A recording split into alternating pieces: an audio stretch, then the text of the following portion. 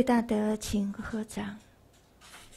恭称本师圣号三称即开经记。南无本师释迦牟尼佛。南无本师释迦牟尼佛。南无本师释迦牟尼佛。无上甚深微妙法。百千万劫难遭遇，我今见闻得受持，愿解如来真实义。请放掌，老师、各位学长，阿弥陀佛。好，大家下午好。好，好，同学们。今天啊，呃，会做一个到目前为止对于阿赖耶识哈，我们嗯所知一的体就是阿赖耶识，会对于阿赖耶识做一个整理啊，或者说会对于阿赖耶识做一个还没有讲完哦。阿赖耶识有六门，六门分别，可是这里是非常重要的讲。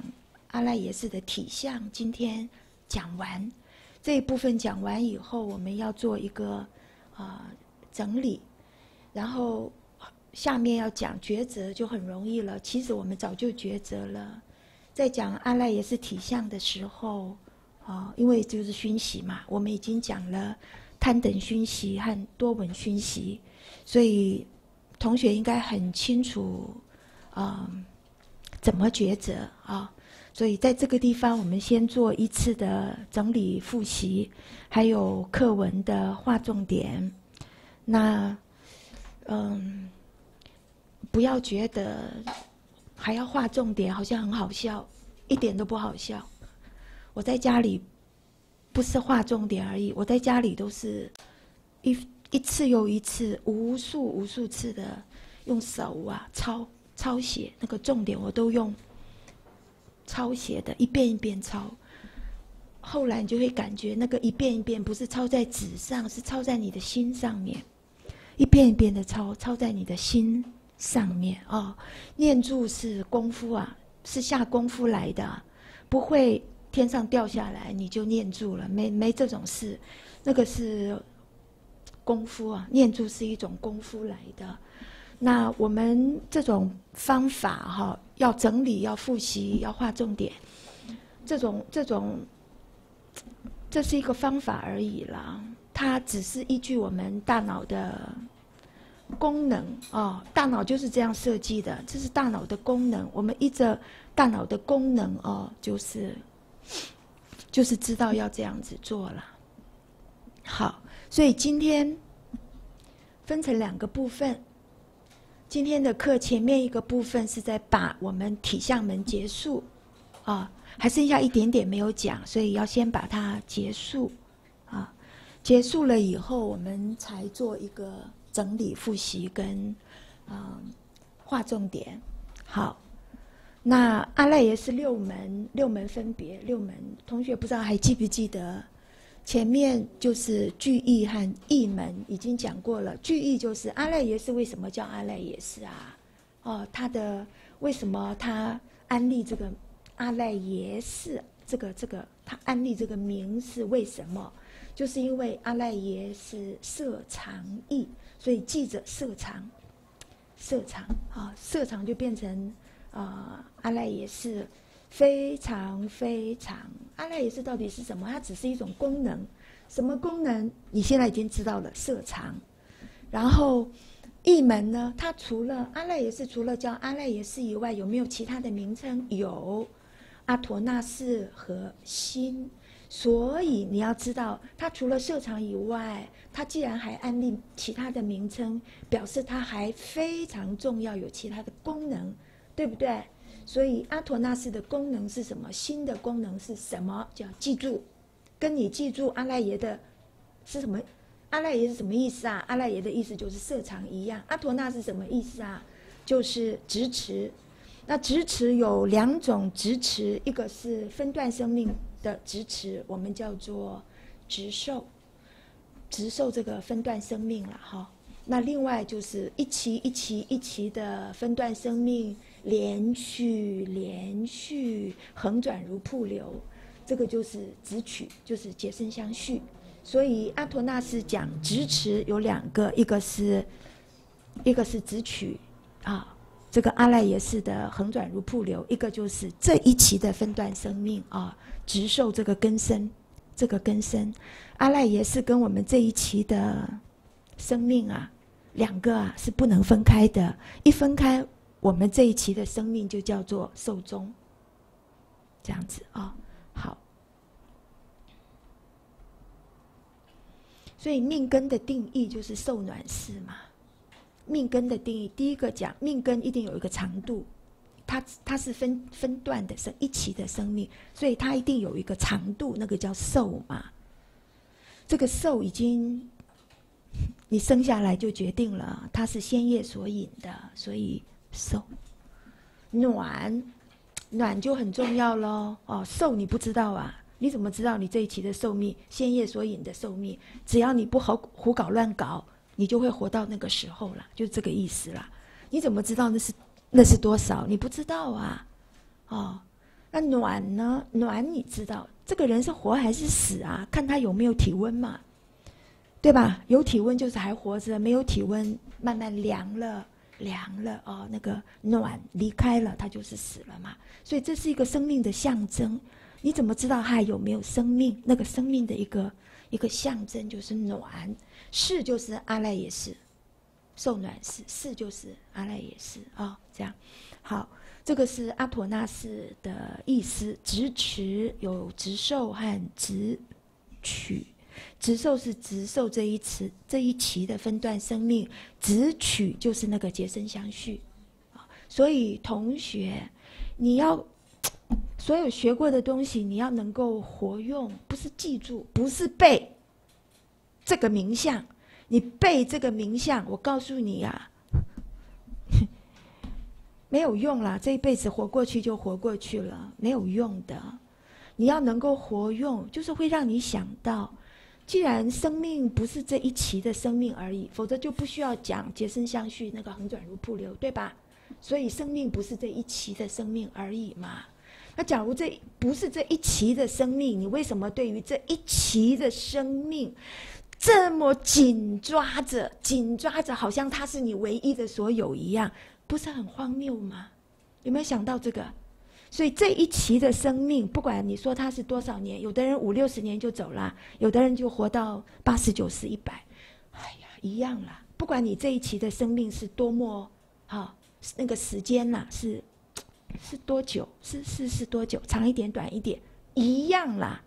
这一期的生命相相对就是官带哈，官带那个横转如瀑流的结生相续来说，就有如。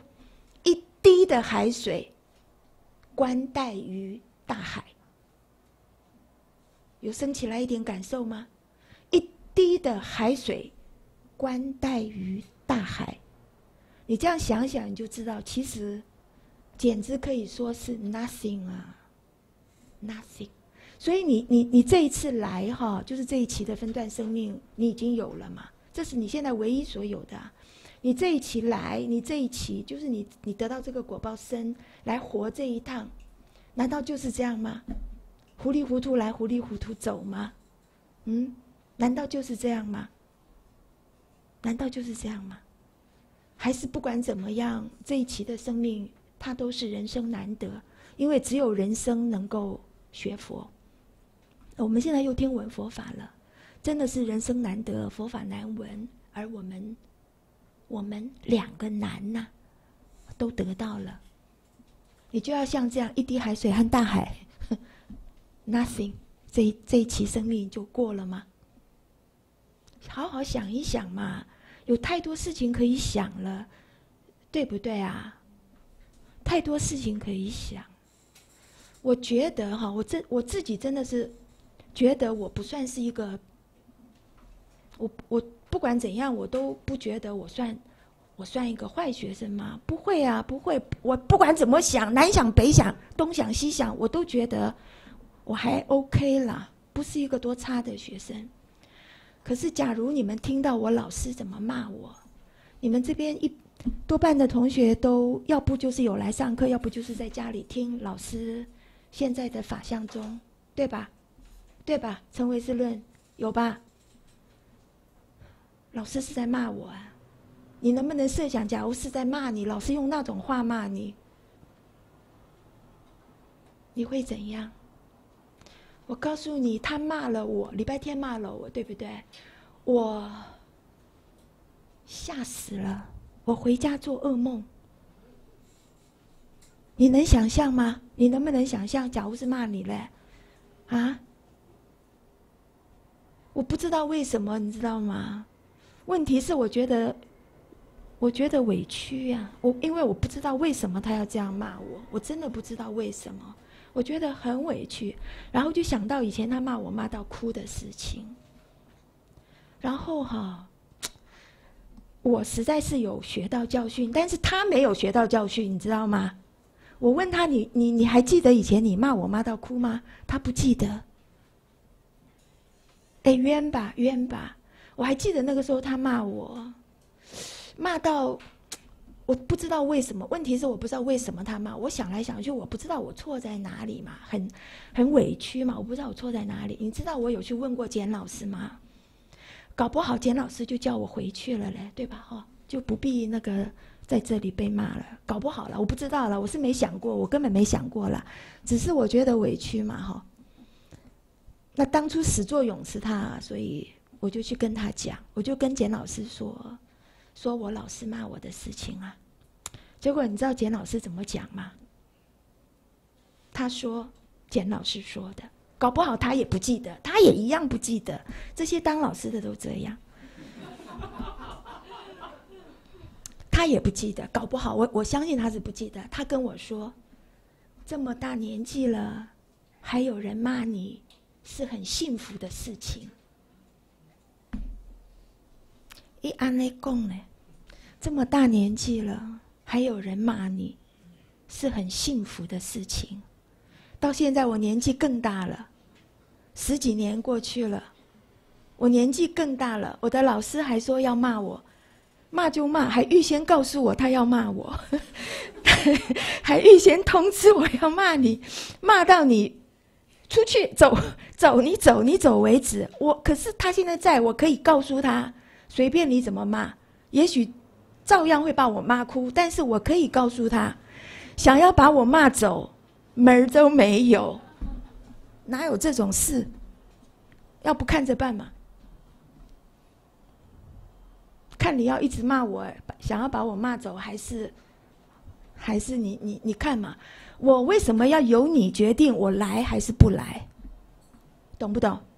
我干嘛由你决定？我自己决定。这个事情我人生难得，我佛法难闻，我自己决定，我怎么会由你决定？你要把我骂走，我就骂走，门儿都没有，知道吗？知道吗？我回去一直给我自己做心理建设。不过其中最有用的就是简老师跟我说的了。这么大年纪还有人骂你是很幸福的事，你不知道哦，你们真的不知道。我回去都真的一直礼拜六呃礼拜天骂完以后，我回去。一一直都是在给自己做心理建设，晚上会做噩梦，不知道会怎样。然后我容我了哈，不不不不，我我我没有什么资格可以要求老师怎样。不过容我提醒老师一下，这是有直播的，而且有现场，就是除了现场直播以外，而且还是有现场录音下来的。所以你怎么骂哈？那个以前呃以。以前还没这么 可怕，现在真的是很可怕的事情啊！那简直就是五湖六海。你知道老师的学生五湖六海吗？啊？哦，四海好，四海好。你知道有多可怕吗？你知道有多可怕吗？你就是哀求他了，稍微 想一想，这五五湖四海的，啊，那就。我也不知道，我真的不知道，那就等着，等着看看会怎样了哈。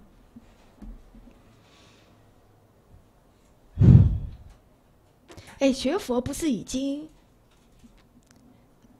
已经、已经，哎，已经是学佛，人家要苦学的，算是辛苦的事情了，还要这样哦，还要这样哦。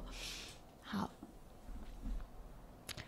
回到我们的正文啊。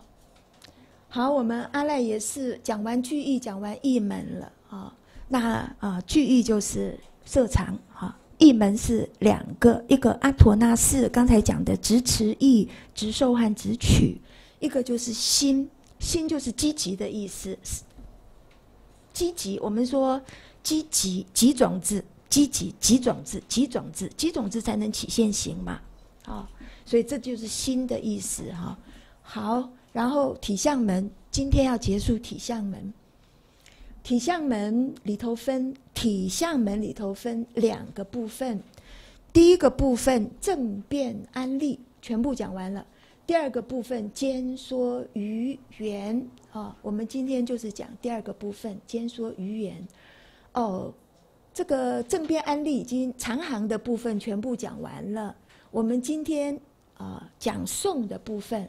颂的部分有五个颂跟两个颂，五个颂我们也讲完了，今天讲两个颂，所以同学请看一下你的课本啊，告诉你一下，学着做科判，要不然的话，这个全部变成好像浆糊一样哦，一堆呀，一堆呀，嗯，你的那个体系这样建立不起来。好，顺便跟同学说一下，体系很重要。而唯识的难学，也是因为它的体系很庞杂。可是同样这一件事情，体系很庞杂，就正好是唯识的长处，是它的特色，也是它的优点。这是学唯识很很重要的一个一个一个一个特色，一个好处，就是它的体系非常的。清楚，所以事实上是比较容易学的。就是你有一个体系，把这个体系搞清楚，你就该怎么想就怎么想，思思维的纪律就很容易建立。没有一个体系做一哈，你你怎么建立你的思维的纪律啊？好，所以同学啊，你不要让，好，人家说阿赖耶识啊。呃，不，不是阿赖，就整个唯识啊，哈，唯识啊，很很很难学啊。它名相那么多，它体系那么庞杂，你不要被这个吓到。这个反而是学唯识的这很大很大的这个特色啊，它的长处，它的名相很多，所以它讲得清楚嘛。它不是含糊笼统的嘛。每一个名相都有它的意义在的，就像我们刚才讲，名相都有它的意义。色场，色场也是个名相啊。可是，假如你明白色场的意思，你就知道了，你就知道了，它不只是一个名相，对不对？你就会非常小心你的每一个现行业，就是当下的业，因为你的业都会留下熏习在阿赖耶识里头，就是所谓色场的种子。你这样懂吗？你不要把它当一个名相来背嘛，它是我们生命的实相啊，它哪是一个名相而已啊？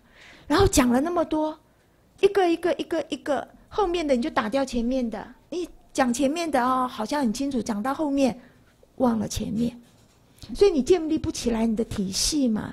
那个意思就是你建立不起来你的体系了。假如你建立得起来你的体系的话。就很清楚了，知道吗？现在教你怎么建立你的体系啊。比如说，阿赖耶是这个第三门，就是体相。体相门从哪边开始？从十五页开始。同学，你翻开到十五页。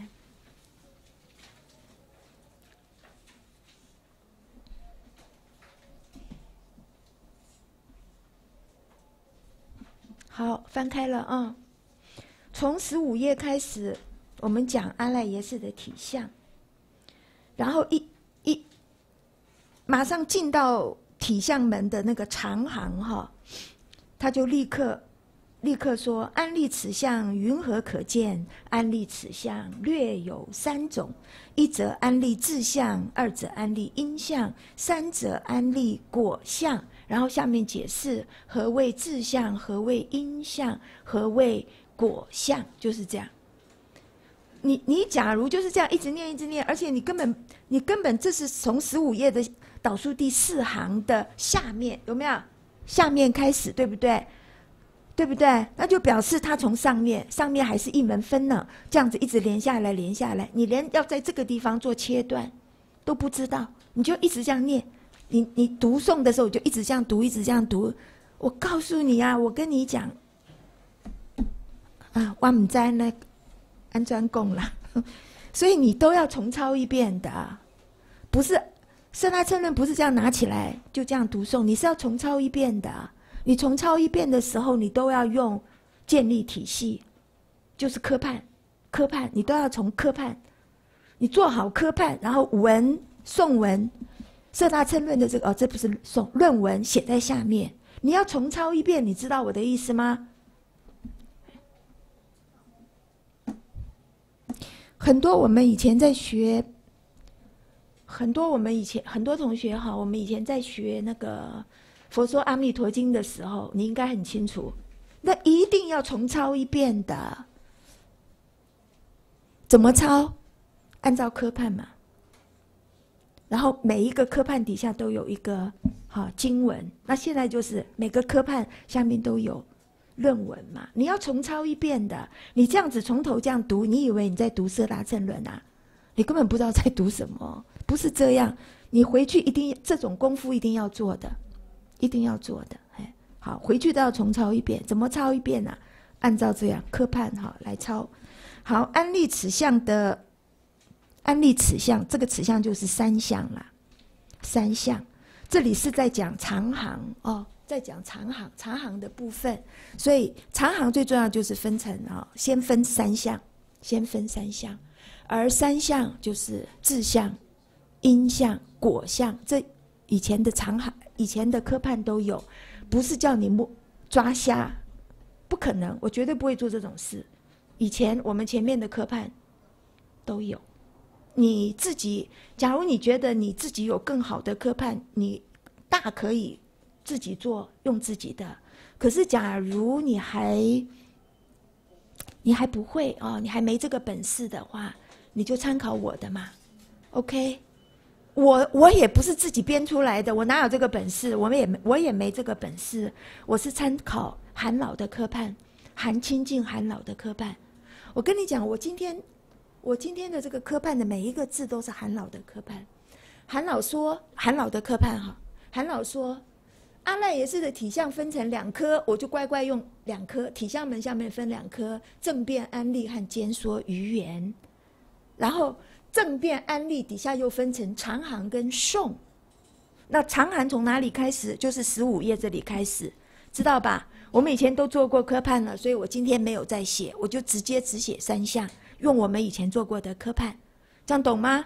三项三项哦，底下那个科判很清楚，到最后结在两种缘起，然后今天要学第三种缘起，所以就不是两种缘起，就是三种缘起了。啊，今天的第三种缘起啊，第三种缘起在二颂里头，所以我们学完长行学颂，颂有五颂跟三颂。五颂上次讲过了，在学五颂的时候，同学们，五颂的重点，我不要你们背五颂，我真的不要你们背，我自己就不背。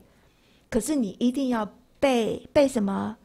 种子六义跟所熏四义。符合这个所熏四义的只有阿赖耶识，所以阿赖耶识成为所熏。嗯，所以只要这只要背这个就好了。种子六义跟所熏四义，为什么阿赖耶识是所熏？因为所熏四意只有它符合啊，啊，然后种子六义，那我用红的写，你就知道种子六义，种子怎么来的？熏习来的。熏习是什么？熏习是什么？嗯，熏习就是志向，就是阿赖耶识的这里我们提相门所说三相里头的自相啊，自性相、自相就是熏习。那熏习阿赖耶识就是熏习，所以好两个了。刚才说阿赖耶识就是色藏，还记得吗？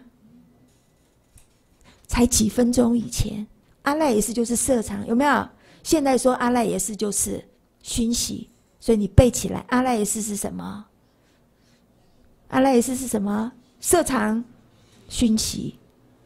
嗯，好，这里讲熏习，熏习，熏习什么？熏习种子。所以我们以前讲过哦，在熏习意里头是以种子为主，种子六义。啊，种子六义，刹那灭果具有恒水转性决定带众缘引致果，这是缘起八义里头哈。为什么自业所作以后就会有这个五蕴的世间？业啊，业是那个圣缘，圣缘业啊，自业所作就会有因果的相续、相似、转。这是在讲四相的部分。它理的部分很难懂，非常难懂，就是理有情义和理作用义，非常难懂。不过我们花了很多的时间解释，有没有？离作用义，这是总标中啊，啊，没没有叫你没有叫你从这里下手，不可能，因为它是结论，它是终，它是结论，下手不从这边下手，下手要从，虽然理有情就是无我。这是结论哦，这是总标中，所以告诉告诉同学一个，就是给你一个 hint，一个一直，嗯，为什么要学阿赖也是缘起这么难的东西，尤其是甚深缘起。好，现在在讲甚深缘起啦，这么难的东西是要你一直朝着一个方向去得到结论，所以叫总标中嘛。那个方向就是无我意，一切法。无我，如世尊言，一切法无我，何等一切法才开出来？这这些法，何等一切法？心法，第一个是心法。老师上课也会口误呢，他也有口误，说第一个是设法。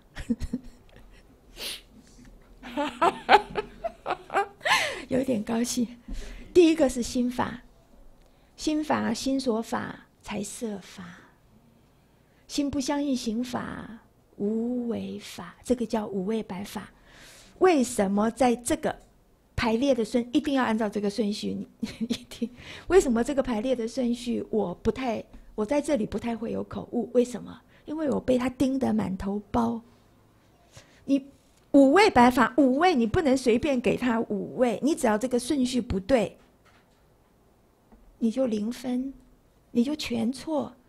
我被他盯得满头包的，所以我不会口误了。现在，为什么一定要背这五个不能够顺序错呢？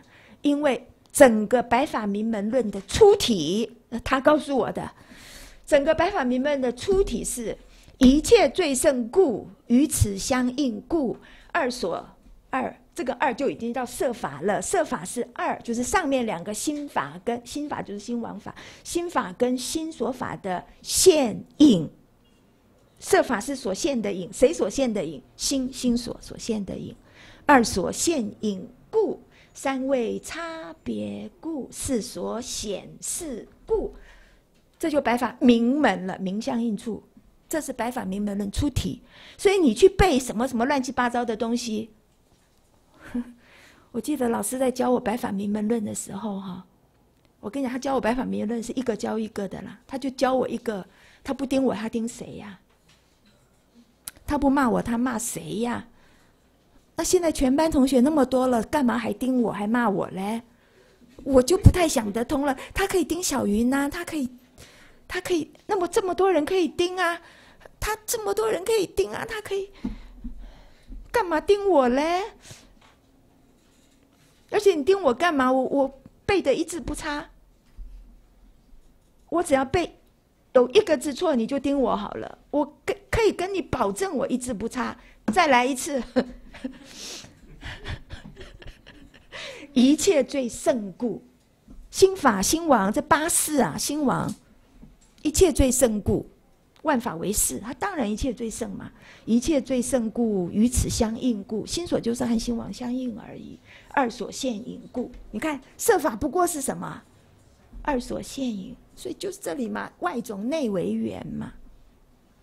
二所现影故，哦，这个好难哦，这个真的很难。二所现影故，三位差别故，心不相应，行法只不过是心心所和设法的分位，它具有这三个，具有这三分，就是它都有一部分分位。但是它又不是这三个，这个叫做心不相应行法，然后无为法是四所前面四个所反显的四所显示故，你只要能够遮掉前面四个，你就能够体会出什么是无为法，不是用名言叙述的那六个无为，用名言叙述的名言安利的无为法，它就不是无为法了，它就是有有为法，它就有为法了。所以你要不要背？这是《白法明门论》出题耶。老师那天问的好多同学讲《白法明门论》，那当然大家都没有讲到，讲到这里啦，是因为他们没有被老师这样 这样盯过了。那没有关系，因为我们还没有开始学《白法明门论》了。假如开始学《白法明门论》，你就知道《白法明门》里头最重要的不是去背那一百个法。不是去背那五十一个心所，是要先背这个整个白法明门的五位法的出体，五位法的出体。再来一次，讲啊！一切最胜故，与此相应故，二所现影故，三位差别故，四所显示故。老师怎么样？啊？没有，不是个意思。我的意思是你没有白教我，对不对？夸两句嘛。啊？什么？你你你说什么？我没听到，我没听。以上背的是错的。我以上背的是错的，完了完了完了完了完了！我还叫你们背那么多次，完了完了完了！没。你要你要先背下来，连这个都背不下来，你就没机会错。哦，还好还好，要先背。背了再说，所以不管他，先听前面一半，背了再说，好吗？好，背了再说，OK。唉，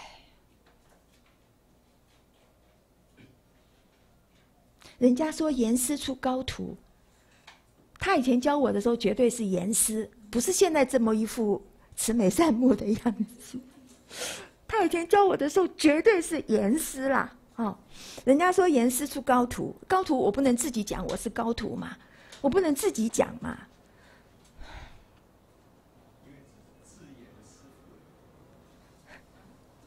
啊？自言。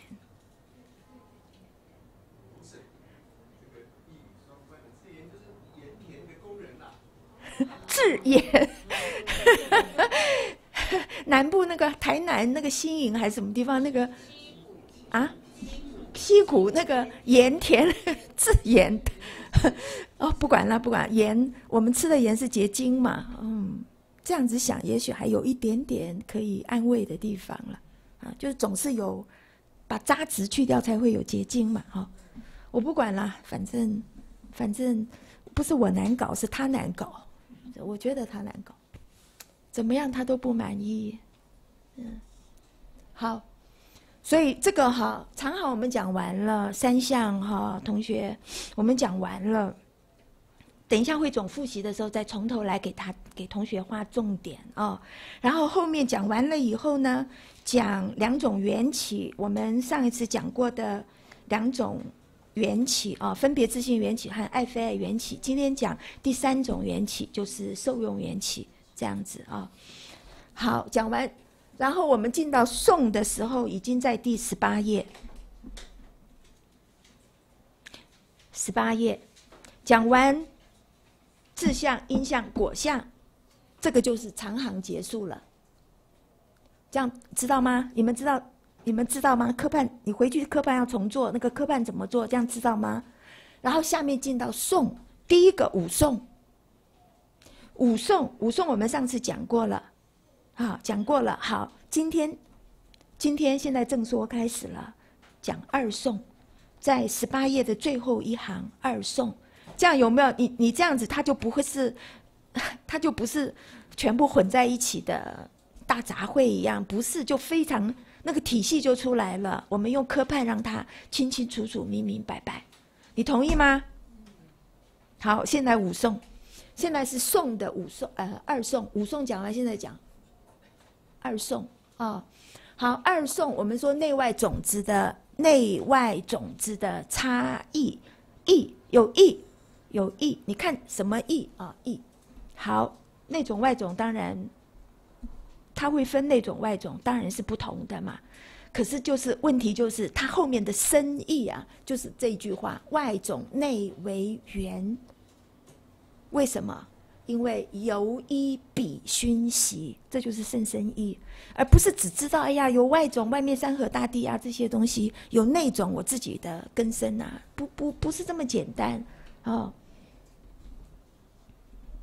好，我们看一下呃这二颂就在十九页两个颂，找到了吗？十九页第一行第二行就是两个颂。好，十九页。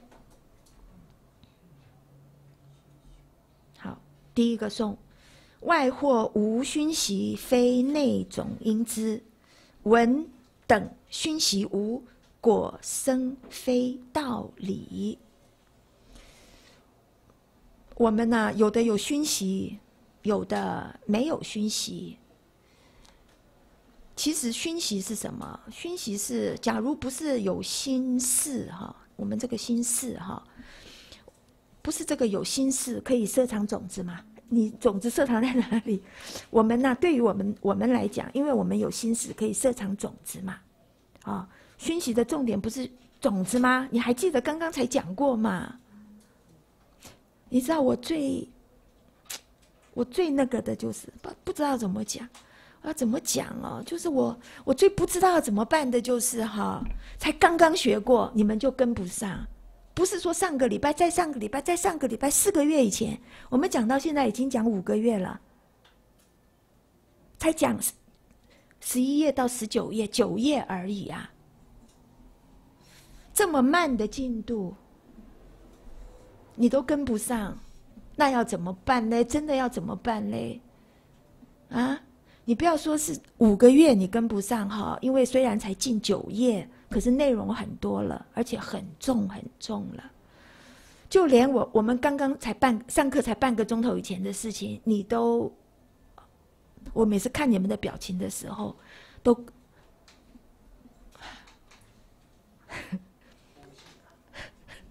可是我一讲你就恍然大悟的样子，那个样子又出来了。你是这这是好，我们讲到熏习的时候，重点在种子，刚才讲过嘛。然后讲到一熟的时候，才会有外跟内的分别嘛。那种子的时候呢，也也也是也把它方便的分外种跟内种。外种就是没有这种没有这个心事的哈，所以外种没有熏习。那种呢，非那种就非非非不是这样知道啦。那种就有熏习的意思啦。外种没有熏习，内种是一定有熏习的。他说外种无熏习，然后非内种因之。内种不是这样知道，内种你要怎么知道内种？怎么因之啊？内种一定有熏习，就是这个意思啦。这样知道吗？好，文等，他举一个例子，他举我们现在哈几乎都都，你应该。很清楚哈，我们讲到现在，我们的重点几乎都是放在菩提种子或者善根种子上面了。我们要熏习种子，我们不再跟你讲那个贪等熏习，讲那个干嘛？那个轮回业，你你会得很啊。我们现在要讲菩提种子，也就是善根种子怎么怎么来，一定要念住来了。好，善根种子怎么来？哈，所以讲他这里就直接讲文等熏习。这样知道吧？为什么他不举贪等熏习？我们不是前面讲两个熏习，一个贪等熏习流转到一个多闻熏习要走转一环灭的。他他这里直接跟你讲闻等熏习，他直接指直接指那个我们呐转移环灭啊需要的文等熏习，就是多闻熏习嘛，就是正文熏习。那正文熏习的所依一定是圣言量，没别的了，没有别的。正文熏习的所依为圣言量，你知道？为圣言量，多闻熏习所依就是圣言量，如理作意所摄，然后升起是法是义的有见义言。这个有见义言是我们的事所取事，你知道吗？它还是四性，为是四性啊。这个以后入所知相，就是入为是性的时候要背的东西。好，他跟你说文等熏习无，就是假如你没有文等熏习，倒装句了，这个。玄奘菩萨翻译的，用印度的文法，印度的文法动词，呃，他就是这样倒装句，他他是这样，他跟我们不一样。我们会说文等熏习，然后无就是假如你没有文等熏习，先跟你说文等熏习，你以为他要说要文等熏习啊？不是，他跟你说下面马上无，假如没有文等熏习，果生非道理，你要转一，没门儿，道理说不通。没没没有这个道理，道理这个道理不成立，明白吗？假如你没有文等熏习，那么你会果，你会转一，你会证菩提，菩提跟涅盘这是两个果。我们学四大正论的两个果，比果智和比果断，对吧？菩提跟涅盘呢？比果智跟比果断，没门儿，不可能，果。这两个圣果果生非道理，不合道理。第一个诵懂了没？好，那底下你才会懂。做不做师德二，呃，过故成相违。人家说为师哈，或者法相啊，为师法相很难学哦，很讨厌，很让人讨厌，就是因为这种句子很多。做不做失德，下面艺术啊，这火星文呐。可是这种句子非常多，所以你学一学就好了。你不要跟文字的表达赌气嘛！你跟文字的表达赌什么气啊？你学会它不是就没事儿了吗？你懂我的意思吗？不要因为你不喜欢这种文字的表达，你就说你不学了。那你不学就算了吧，随便你，谁稀罕呐？好不好？啊！做不做失德？他的意思就是，做就会得嘛，就是前面讲的嘛。你有有做，就是有文等熏习，就会得嘛。你就走到地，就会得圣果嘛。不做呢？不做。假如你文等熏习无不做，果生非道理啊。不做就会失，做就会得。得失不是真的有得失，这个很重要。得失只是一个概念，什么概念？种子成就跟现行成就的概念，这是不相应刑法里头的第一个。不相应刑法里头的二十四个不相应刑法的第一个叫做得，它是一个概念而已。然后它下面就讲，得是什么？得不过没有真的有无所得，无所得没有真的得什么？得只是种子成就现行。成就，我跟你讲，就我们这里讲的熏习意啦，现熏种种生现，只是这样一回事。不管你得什么，你是得一个我们这个杂染的五蕴世间，还是你得一个正觉世间，都是这样，种子成就，现行成就。那这是这得。失只是他的冠带面而已啦，所以重点是在讲得，怎么样会得？做才会得，不做就不得。做得不做就不得，这样明白吗？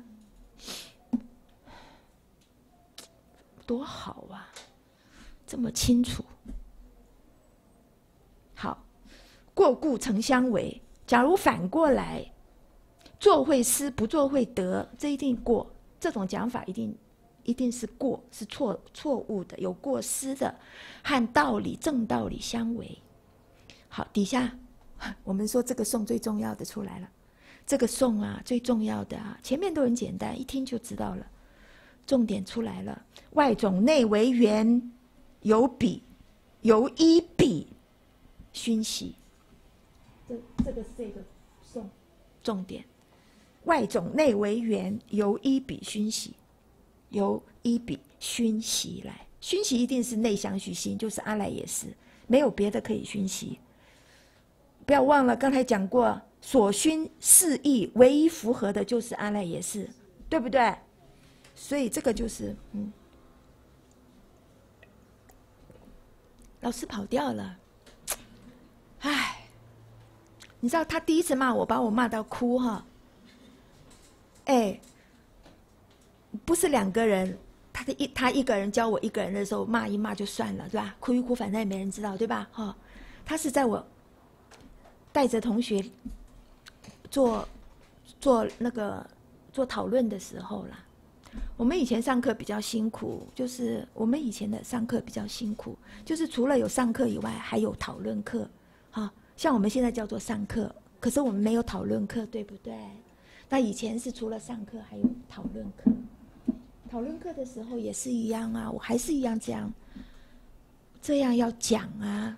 只不过是一直讨论课比较会偏重在，啊划重点啦、复习啦、整理啦，然后叫同学比较多的时间给同学发表意见，我要听他们讲的对不对？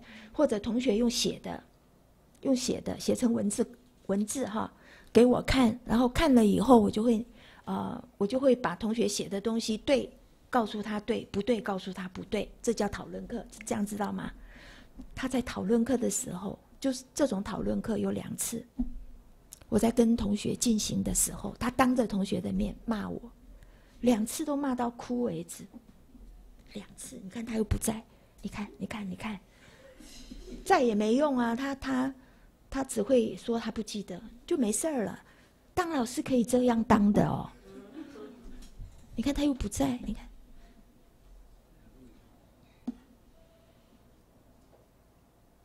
然后他第三次骂我是，我常常我不是常常我我以后不要讲了，我以后不要讲了啊，是我才才是觉得这样委屈万分的那一次，他第三次骂我是骂我混蛋那一次，你你听我讲过吗？OK OK OK。好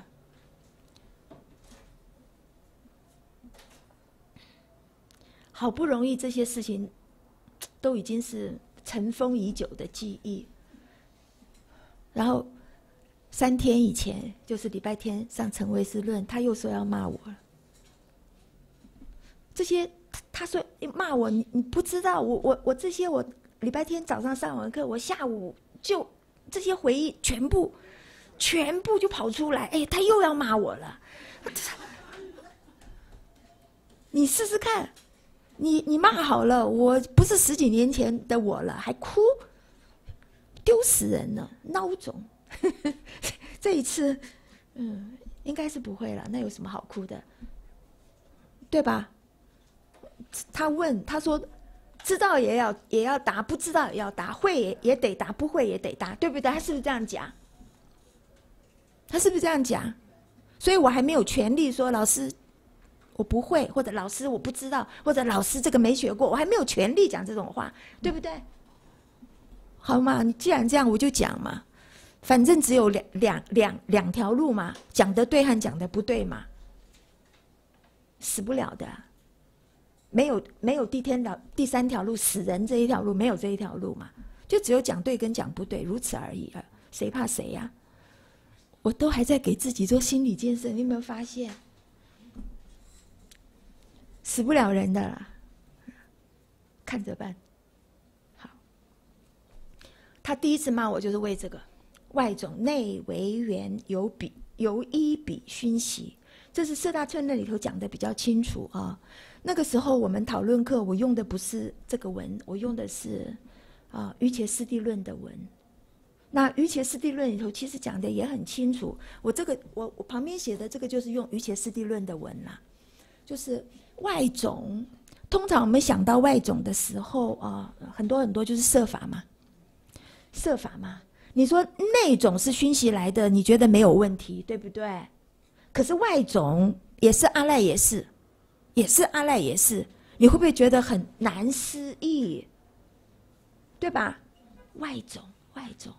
那瑜伽师地论怎么讲呢？瑜伽师地论，哈，这个讲法是瑜伽师地论的讲法。瑜伽师地论说，他一直慢慢给你推。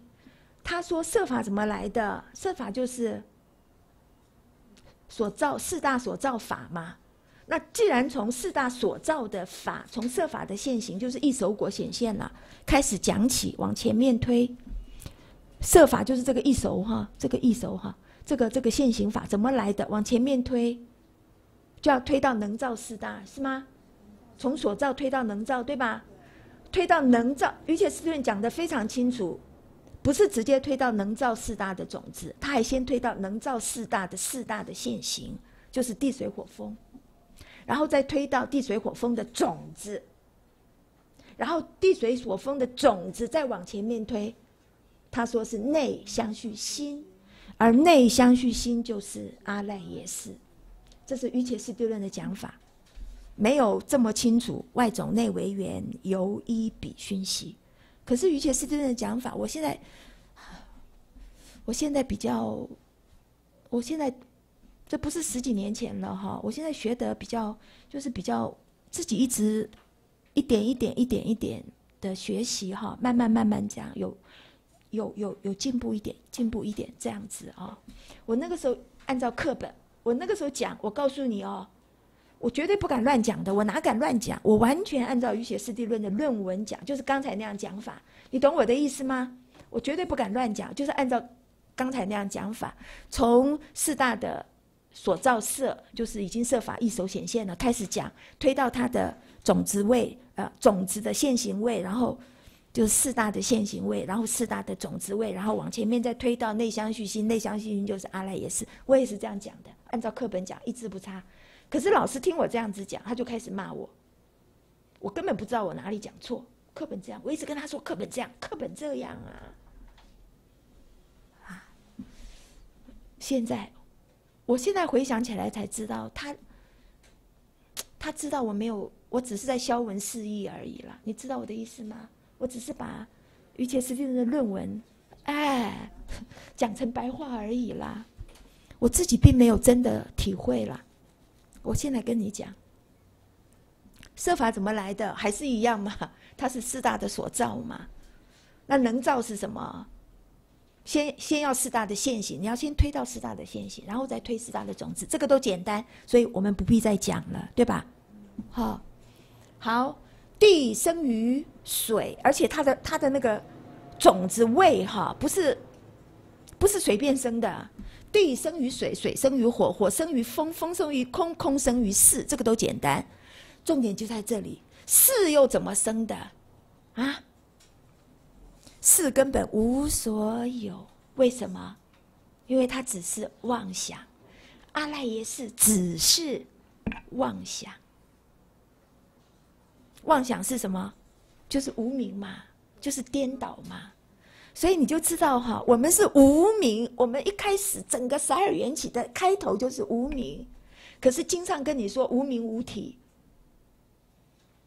就是唯有业行，就是自业所做，才会有后面一一连串的因果事。无名无体，它就是来自你自己的妄想，妄想。妄想，你自己想的，想颠倒嘛，颠倒嘛，妄想，你把这些植为实有，哦，开始了，那个无明心开始了，真的吗？那是你颠倒而已，你不颠倒，不是就什么事情、什么事情都没有？所以我一直都要提醒你们哈，这个、这个、这个是没有办法一直解释的，是你自己要。真的去体会的，就是那个念念相续所反显的本来空寂。你一定要去想办法体会。假如你始终没有办法体会这个，以后我不知道，至少这一辈子你绝对不可能开悟的。你整本。于且十六论会背，整本色大乘论会背，你整本什么都会背也都没有用。跟你保证你是不会开悟的，跟你保证你你一定是轮回的，跟你保证你死定了啦，就是这个意思啦。你要想办法去体会那个本来空寂，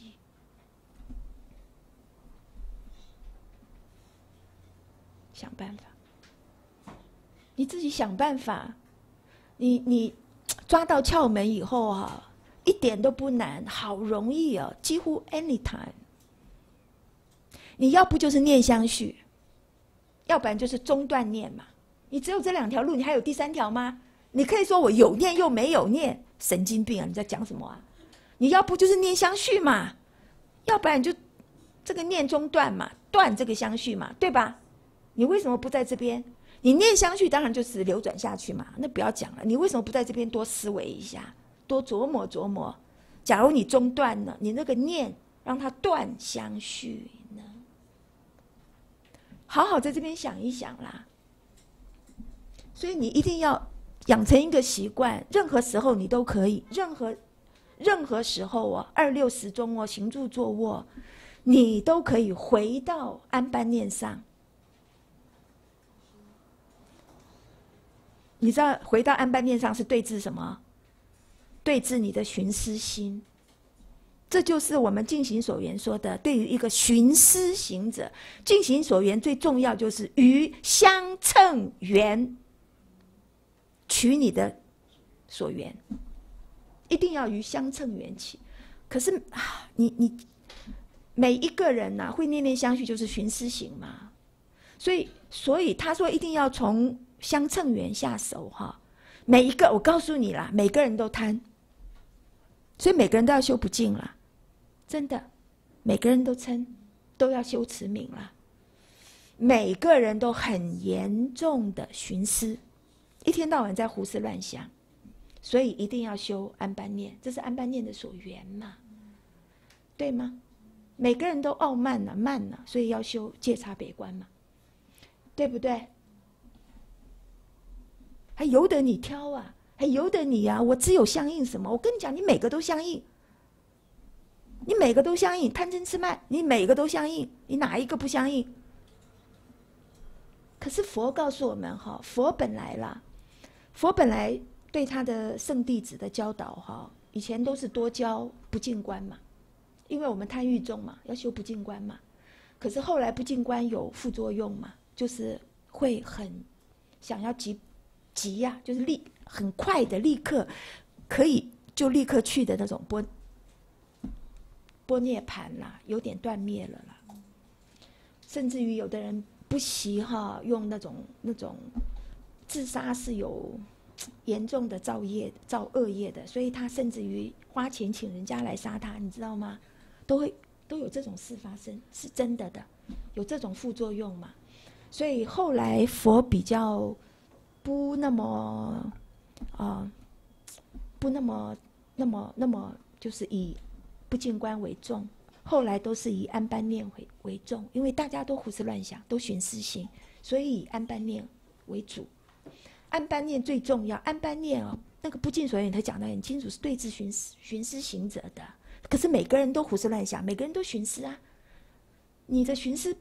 寻思是一定要的，寻思哈，寻思不是什么坏事，寻思是不定心所，它不是恶心所。它不是烦恼心所，问题是你不如理思维，才会变成是烦恼。假如你如理思维，你用的照样是寻思心呐。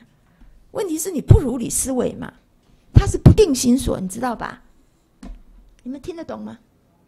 好，所以对治像我们这种人人都一样啊，寻思行者哈，佛后后后后面以就不那么讲。就是重点不像在讲四十二章经的时候，重点全部放在不净观，它的重点就比较放在安般念了啦。所以要时时回到安般念上，回到安般念上，不是叫你正经八百，好了不起哦！我现在要做个什么七字做法了？你说你们我要修个安般念，那你永远修不成。你的安般念要二六时中行住坐卧。都能够回到回到息上面，回到呼吸上，你才可能修成功。你知道吗？按般念的意思是什么？啊，把你的心放在席上。这这个意思是什么？为什么他是对治寻思行的？为什么？因为我们寻思都是攀缘嘛。寻思表示你一定思念了啦，思念就会散乱，散乱就会恶会。就这样子啊，你一定思念了啦，只就是又这样看到外境就只以为实了，无名相应处嘛。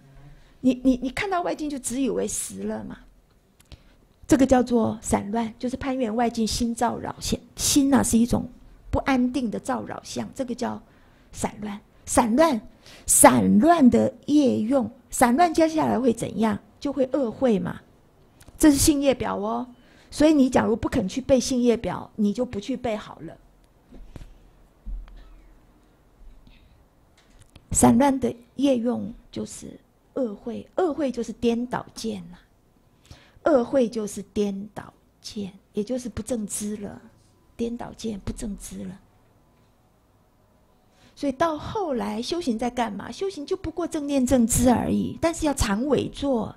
那你要正念正知常委坐，你一定是修远离的，你知道吗？你不要以为我们人人本具如来智慧德相，哎呀，这这个很坚固，这个很广大，人人都有，个个不无法性啊。法性当然是广大的，无边，这它无相的，当然就是 法性再广大，都广大，都广大不过，不过，不过你的境界。我告诉你，在。只要跟对尘，你哪有法性？你只有境界，眼前的境界，你知道吗？哎呀，你说你怎么本具如来智慧德相啊？了不起，你了不起对吧？了不起对吧？你再了不起，你再这个本具如来如来智慧德相，你都敌不过你的习气。你那个本具如来的智慧德相在哪里？啊，在哪里？在哪里？完全被习气盖住嘛？习气盖住嘛？所以不要一天到晚把那个你你那个你那个本住种哈那个法性啊，那个具生的我执法执啊这种这种法性习气具生的我执法这种习气，你不要一天到晚讲那个那个那个那个那个。我们每个人都法性生，哎，这是真的，这是就近的实相。你也不要一天到晚讲我们本具如来智慧德像这种，你讲这种话没有用嘛，是吧？你要很惭愧，就是因为佛告诉我们实相是就近的实相是这样，所以你应该惭愧到真的不行。他在哪里？他在哪里？他在哪里？他再大，他再坚固，他再广深，像大海，像天空，像什么？像什么？都敌不过，敌不过什么？都不敌不过你的习气，敌不过你跟对尘的时候所对的境界。所以你一定要修远离，你自己想一想就知道了。你一定要修远离嘛？你怎么对？你怎么对付这种情况？就是你跟对尘，你就那个啦，你处所处，什么？嗯？根尘是处，处处处处处处，就受想思爱。到爱下面就是受用缘起了。前面这这个已经是第一第一种缘起，第二种缘起讲完了。爱就要造业了，造业你就要受果报了。两个果报，两个一手果报，一个受用的器界，一个受用的根身，这个叫受用缘起。两个异熟果报。你就要到艺术果报了啦，第三个受用缘起了。到受用缘起，我跟你讲，已经是完全完完全全，你就是受用好了。该苦你就苦，就是这样子，已经完全完全没有办法了。你不要等果报现，你你定业的时候就已经没有办法了，知道吗？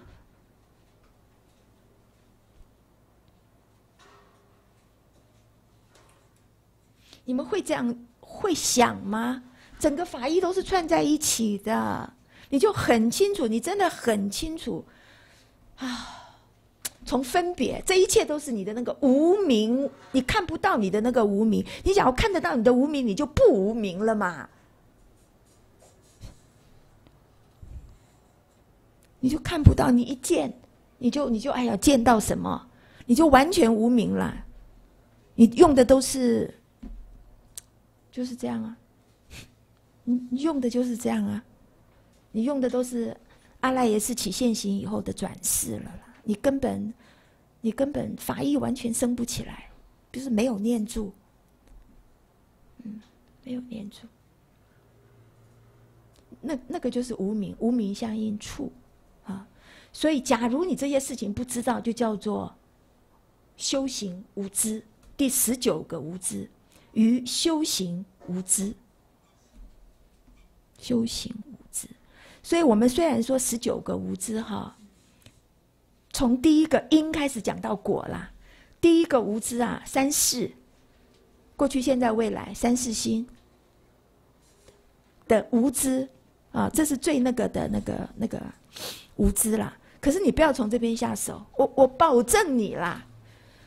这个世界上没有一个人可以思维这个事情。好不容易有一个霍金，斯蒂芬霍史史蒂芬霍金啦，写了一个时间时间简史，嗯，你也看不懂啊，我保证你看不懂啊。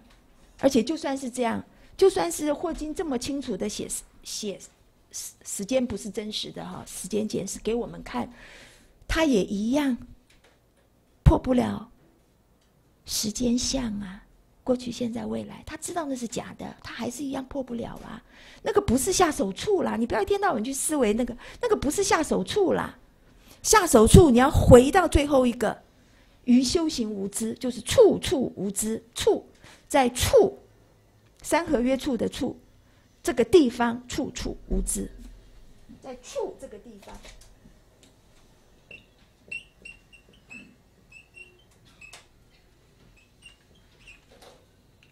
在处处无知，这个叫于修行无知。什么是处处？内六处、外六处、十二处。什么是处处？什么是处的处？就是十二处了。内六处、外六处。为师修止观的观，为师啊，这是最这个是最重要。有为师的关门，就是十二处关，内六处、外六处。所以我又写了一个六八十二，内六处外六处，内六处外六处相对了以后，你势生起来，势生起来，这个才叫缘起，这才叫缘起。你说不对啊，外面那个叫缘起啊，外面那个缘起，那个外面你怎么知道外面有缘起？不管怎么样子讲，不管怎么讲啊，外面有没有有了因缘果建立了，但是它无相了。这个连现在科学都已经讲得很清楚，它无相，所以对你来说，相的升起都是事的升起，事的升起。外面有没有？外面有没有？说老实话哈，我跟你讲，关你屁事啊！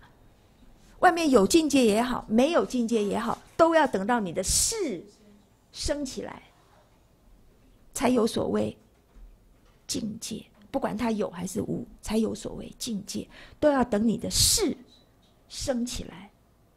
你不要一天到晚讲那些那些，所以唯识是不唯识是不探讨，他不把重点放在本体论。那个有没有？那个有到底有没有？无所谓啦，有也好，没有也好啦，都要等到你的事生起来，才分有无。所以说万法唯识，所有一切都是你的事。万法唯是，那个事的事意显现而已。这个事意显现，我们叫做事变。唯是三十颂一开始就讲事变，事变，事生变是意，有情我即了。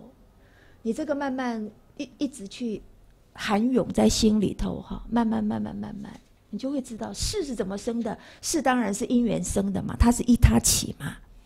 否则怎么会说眼是九元生，耳是八元生？不拉不拉不拉，四是怎么生的？藏音托元生的，一托众元生的嘛，藏音托元嘛，对吧？所以你不要不要不要一直那个那个。重点是啊，你你你一直分析这个没有用，因为为什么你知道吗？你当然要知道这个，但是问题是你过不去的，不是这个道理，一他起道理不是你过不去，你让自己过不去的都是那个宛然有，就就就就像是有嘛，对吧？那个叫宛然有，于是的为师的专门名相，那个叫做宛然有，如幻有，或者说假有。你过不去的是这个，跟那个缘起的道理根本没有关系。缘起的道理，你知也好，不知也好，根本无所谓。它不会让你烦恼，不会让你哎呀好苦啊，不会让你一次一次的轮回。你不是在那里轮回，你是在果上面果果，这个一他如幻呐，这个果宛然有的果假有，你是在这个上面过不去，你过不去。真的过不去，你一见，一见就分别了，分别你就执着了，所有这些都是妄想。所以我们说分别执着妄妄想，只有这个没有别的，只有分别执着妄想，没有别的。分别第六世，执着第七世，妄想有第八世，这样就升起来。宇宙，人生。这个世间，这个五蕴生灭法，就是分别、执着、妄想。分别第六世，执着第七世，妄想第八世。可是分别第六世自己不会直接就他就分别。我们一天到晚对的都是都是眼对色，耳闻声，都是都是五根对五尘境。五层五根对五层境，然后才升起第六世的分别，所以这个分别是前六世一起做，一起做的业啦。但是会分别的圣功能是第六世，你这样明白吗？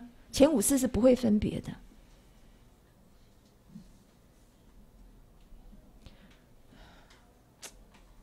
你什么时候才会像我这么熟啊？那多好啊，多好啊！真的那多好啊！我跟你讲，其实我心里很有把握，老师不管问什么我都答得出来，以我现在的程度，只不过我答得好跟不好而已。那有什么关系？我还是学生啊，学生就是有这个权利啊，对吧？假如我达到尽善尽美，我达到尽善尽美，我坐在那里干嘛？我当佛去了，是吧？你有没有发现我真的很会心理建设？要不然这日子还过不过嘛？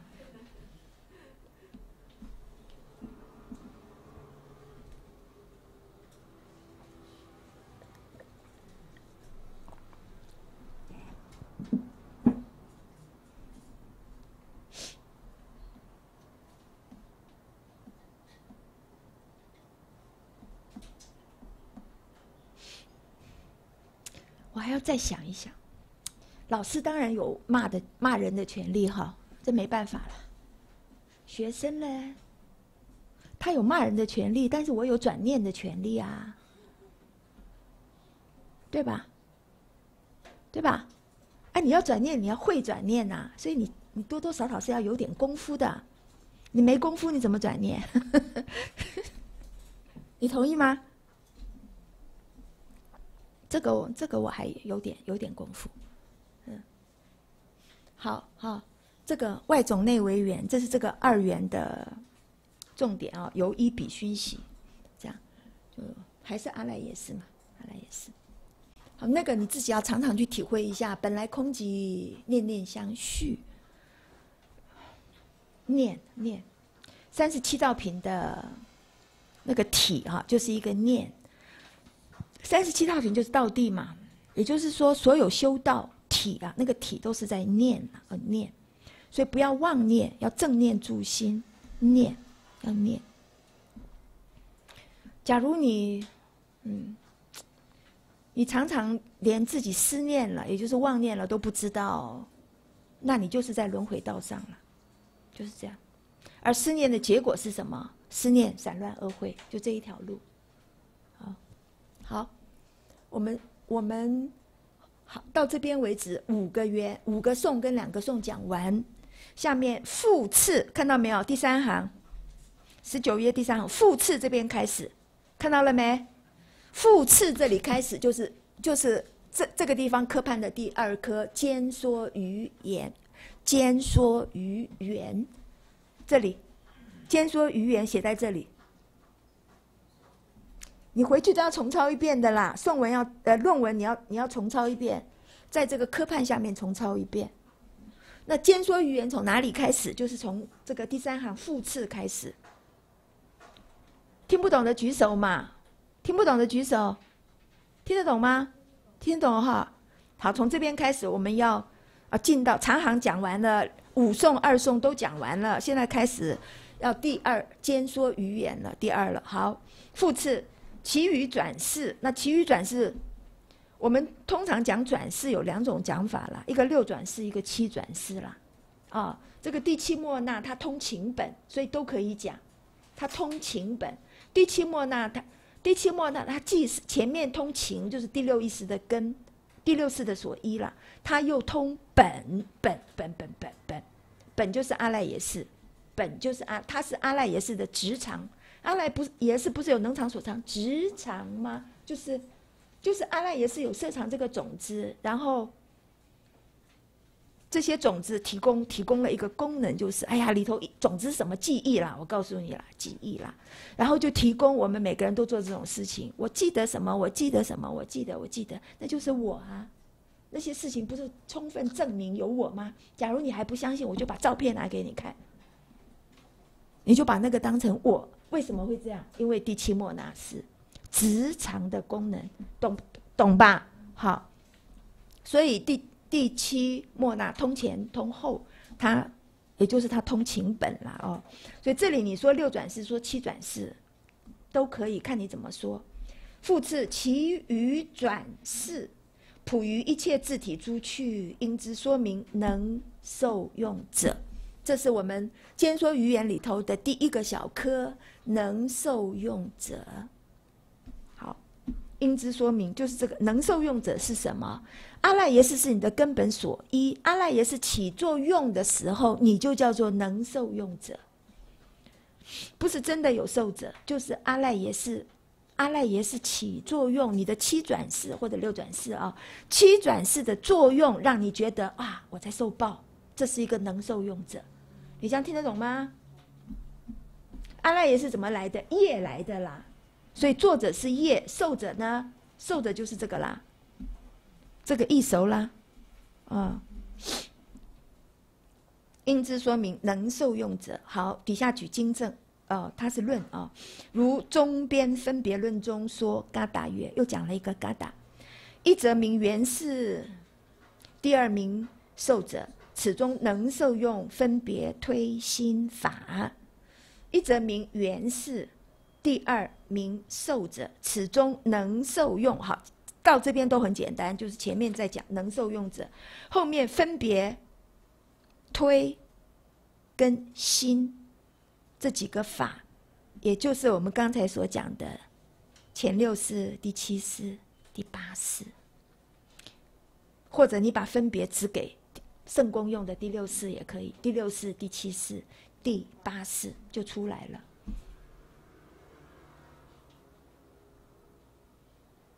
这样可以吗？一则名原氏，这个原氏第一个阿赖耶是怎么来的？阿赖耶是就是原氏，就是你做了业以后，那个业的后世力，哈，以以以诸业为缘，以以以。其实就是一切杂染贫法的现行啦。那肾功能就是第六意识的分别啦。以这些诸业作为缘，就有阿赖耶识的色场种子嘛。阿赖耶识就这样出来啦。这是前面讲过的，一则名缘事，第二名受者。阿赖耶识他又会易熟，所以他就是受者，他自己就他自己又是受者。此中能受用，能受用就是这个功能。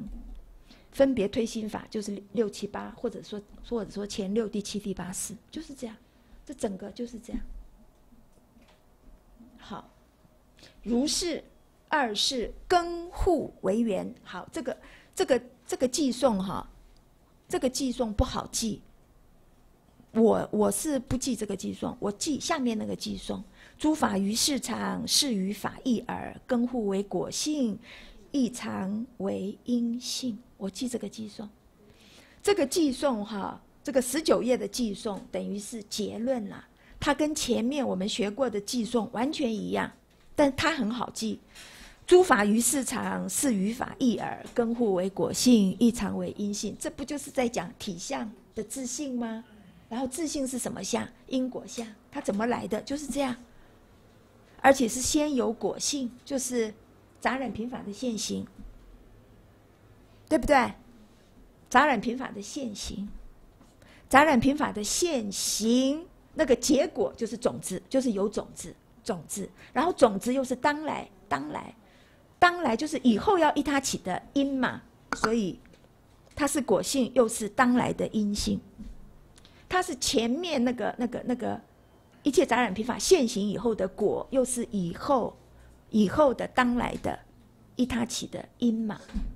这个诸法于市场，是于法义耳。你只要读这个，你看你就会觉得，哎呀，诸法于市场，万法为事，是于法义耳。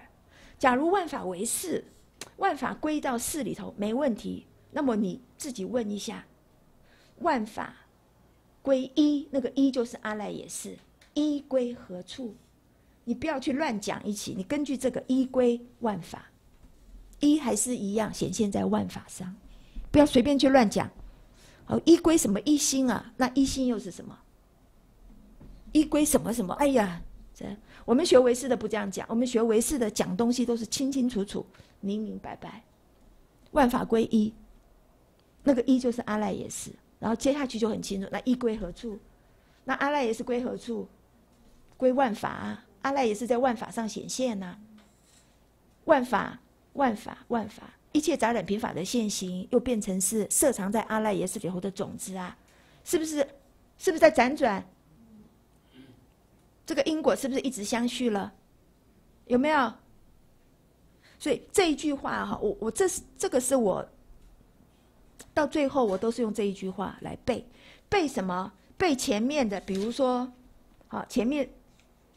比如说前面背啊，十五页，你看十五页，体相门一开始讲三相，他就说，哈，他就说，阿赖耶是从自相开始嘛，哈，为依一切杂染贫乏所有熏习为彼声音，犹能摄此种子相应，此中安立阿赖耶是因相者。前面那个是自相，然后后面自相其实包括因相和果相，他后面又分开讲。此中安利阿赖耶识因相者，为即如是一切种子阿赖耶识，与一切时与彼杂染品类诸法现前为因，这是当来的哦。这不是前面的杂染品法哦，杂前面的杂染品法现行了是留下种子，然后种子又是以后的杂染品法现行的因呐。这是两个不同的杂染品法，你这样知道吗？你不要分不清楚啊。好。那下面讲果相，此中安利阿赖耶是果相者，为基一彼杂染品法无始时来所有熏习，所以才会有阿赖耶识相续而生。你看这句话后，这句话很，这句话也是要背的啦。可是它毕竟是比较感觉复杂一点，你用这个诸法于世常，是于法育耳，多好背呀！他前面讲的就是这种嘛，根护嘛，根护嘛，就是这个意思嘛。根护为果性，异常为因性。好，这个十五页讲三项是是就是这一句话哈。然后你再往前面呢，再往前面一开始，我们一开始讲所知一分的时候，十一页就在讲这一句话了，就在讲这一句话：由色藏诸法一切种子是。故名阿赖耶圣者，我开示。然后底下为什么？复何缘故？此事说明阿赖耶是一切有生杂染贫法，于此色常为果性故，又即此事与彼色常为因性故。是故说明阿赖耶是。同样，这句话的意思跟那个一一模一样。诸法于市常，是于法义耳。根互为果性，异常为因性。所以我我一开始跟你们讲的时候，叫就叫你们这这一句，现在才出来这一句，这一句一这一句啊，这个很容易背的啊，你你别，这个这这个颂很容易背，这一句一定要背起来，就是前面那些难背的，没关系了，你这个这一句一定要背起来，诸法于世常，是于法异耳。根互为果性，异常为因性。慢慢慢慢，那个四叶果三世的辗转起用不停，啊，又轮回，五蕴世间轮回，就是这个，就是就是这样来的。轮回怎么来的？五蕴世间怎么来的？就是这样。四叶果是种子叶，叶叶叶，自业所作，这是缘呐，缘呐，缘，然后。四叶果三世展到果就是果相嘛，所以这个就是因缘果的建立嘛。我会讲的太快吗？你慢慢哈，你要慢慢来，不要像我讲这么快。可是到后来，连我现在讲的我都不耐烦了。我在家里头思维的时候，每这些东西每天都更快，更快，更快。就就是一个念一念起来嘛，一个念住而已嘛。好，通常很多人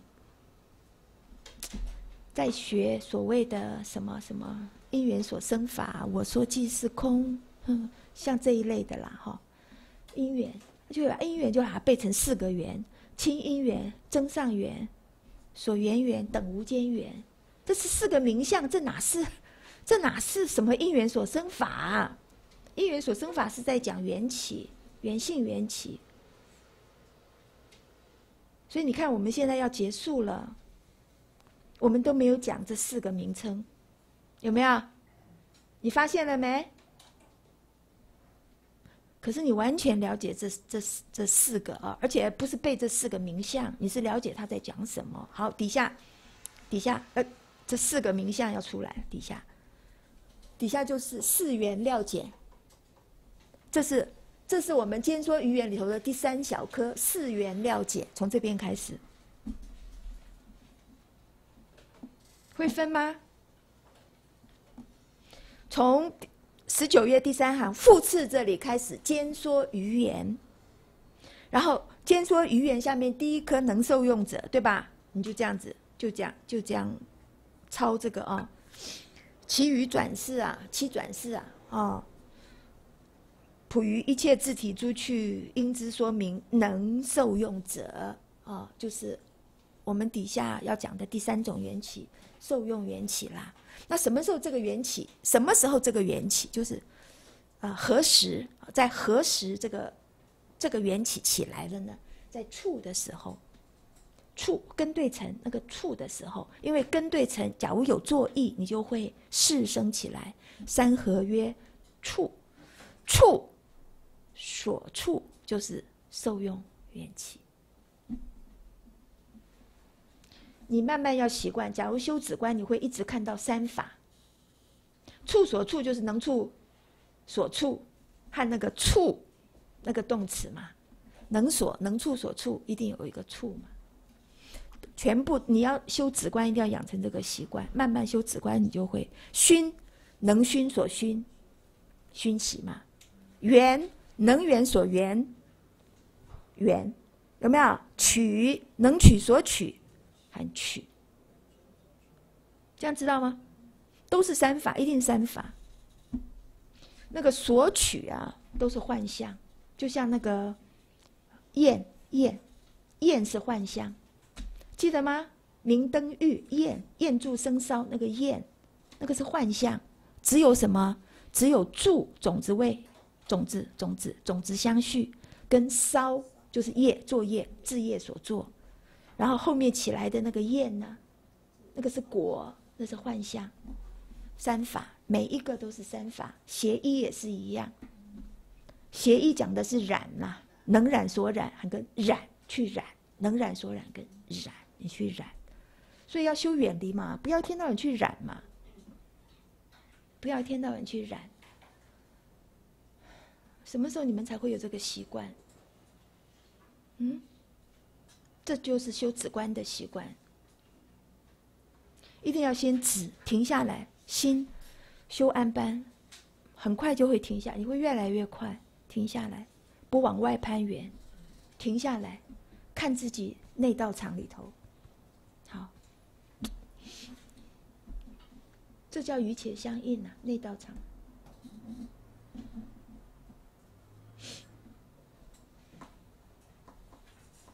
好，然后下面他又有一个寄送啊，这是第一个能受用者。然后第二个如是二世根护为缘，这是第二根护为缘那一颗。然后根护为缘这个记很重要。然后再下来就是第三颗了，四料解，四料解，四缘的料解啊。从这边开始，若于第一缘起中啊，第一缘起是哪个缘起？分别自信缘起，哎，分别自信缘起，就是讲阿赖也是缘起，诸法于世常，阿赖也是缘起，如是二世根互，如是二世互为因缘，阿赖耶识是怎么缘起的？诸法于世常啊，诸法跟阿赖耶识，我我这边有写，诸法跟阿赖耶识根互，根互为因为缘，都是诸法阿赖耶识。诸法设藏在阿赖耶识里了，叫做种子。阿赖耶识又起现行，要带缘起现行了。起现行又是诸法，这样知道吗？我们通常用第六意识代表诸法，因为这是诸法的圣作用。我们心的圣作用就是分别，才会有诸法啦。所以通常我一天一一直在用那个第六意识的符号跟第八识的符号两个辗转。那第六意识什么时候升起来？处啊！触心所生起来，第六意识什么时候生起来？触心所就是三合约处，根对成作意，要根不坏，要境界现前，要能生作意，正其所生之事，方乃得生。你是连做梦都是在讲这些东西的，要熟到这样，要熟到这样，而这个还算定之良而已嘞，没什么了不起，它只是定之良。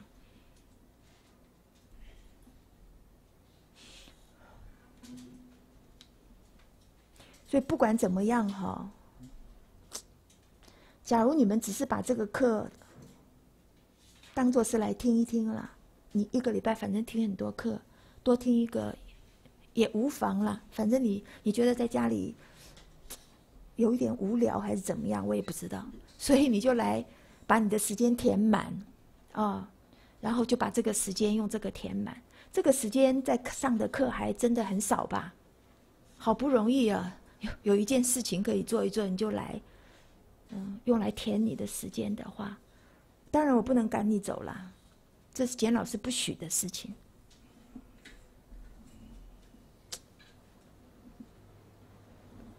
哼，你看我的表情，你就知道我心里怎么想的吧？何必呢？你还不如去吃一点好吃的，那个比较有受用缘起。受用缘起会有苦有乐的那个叫受用缘起啦。你吃点好吃的，觉得哎呦好幸福；去逛街，觉得嗯，心里头不寂寞；跟人家喝个下午茶聊聊天，或者运动一下，你觉得哎呀出一身汗很过瘾。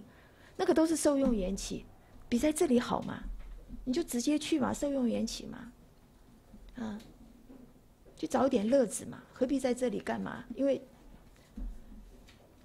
不会有用的，你知道要种子啊，这种菩提善根种子哪是那么容易，哪是那么容易有的？你还记得吗？要有圣功力方成种子哦。第一个圣功力，第一个故思业，第二个烁烁串习，第三个猛力的意乐，意乐易药都可以，你才会有这些这些种子，哪是这样听一听就会有的？这样听一听叫做 “gone”，然后呢，“with the wind”，听一听，你这样听一听哈，反正不会有三根种子，不会不会成就熏习啦，所以你还不如去听呃现代的那那些属于科学领域的，也同样讲这个，我跟你讲，同样讲这个，比如说我我我举一个例子，你有听过 deconstruction 吗？解构，deconstruction 解构，解构是很有名的，很有名的，很有名的，在在这是现代科学哈里头一大堆这种那种这种那种里头比较属于后现代主义的了，啊，解构学，解构学在讲什么？他就说，所有你知道的，比如说讲大范围大点，这个我们这个世间是一个无蕴的世间嘛，啊，就是很多很多组成的因素组成的嘛。你把这些组成的因素先找出来，你自己的生命或者你的生活是怎么组成的？你把组成的因素找出来，这个叫结构 （construction）。它会有一些组组成的，比如说你的生活是怎么组成的？很可能是你的婆婆啊，你的老公啊。你的小孩呀，结果这些你的老公、你的小孩、你的呃，我刚才讲还有讲什么？老公、小孩、婆婆，是你现在严重的忧郁症想要自杀的原因。我只是随便举例哈，我不是说每个都这样哦，我没有，我只是在举例啊，举那个很有名的那个、那个、那个 韩国很有名的电影啊，有没有？然后他怎么办呢？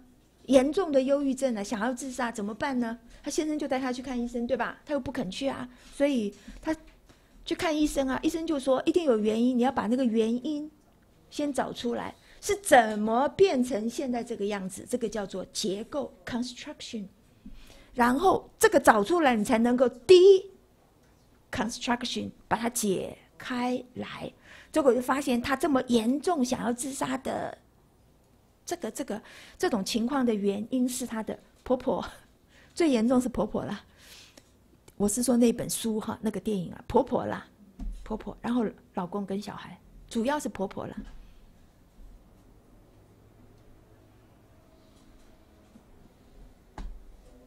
这个现在以现代现代这个的这种例子还是很多，不过古时候不是更多吗？我们生在。中国这种这种传，这种文化，这好不是不是更多吗？嗯，你假如是三代同堂，必定是这些因素都有嘛。好，那 discon deconstruction 的意思就是要先把组成的因素找出来，然后你要把它解开来。你必须解开来，不是这样可以解开，这样是解不开的。解开来必须颠覆你原来有的。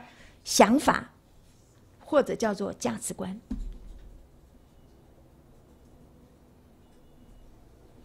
比如说，假如婆婆是所有这些啊，那个基本的原因是婆婆的话，有另外一本书很有名，叫做《媳妇的辞职信》。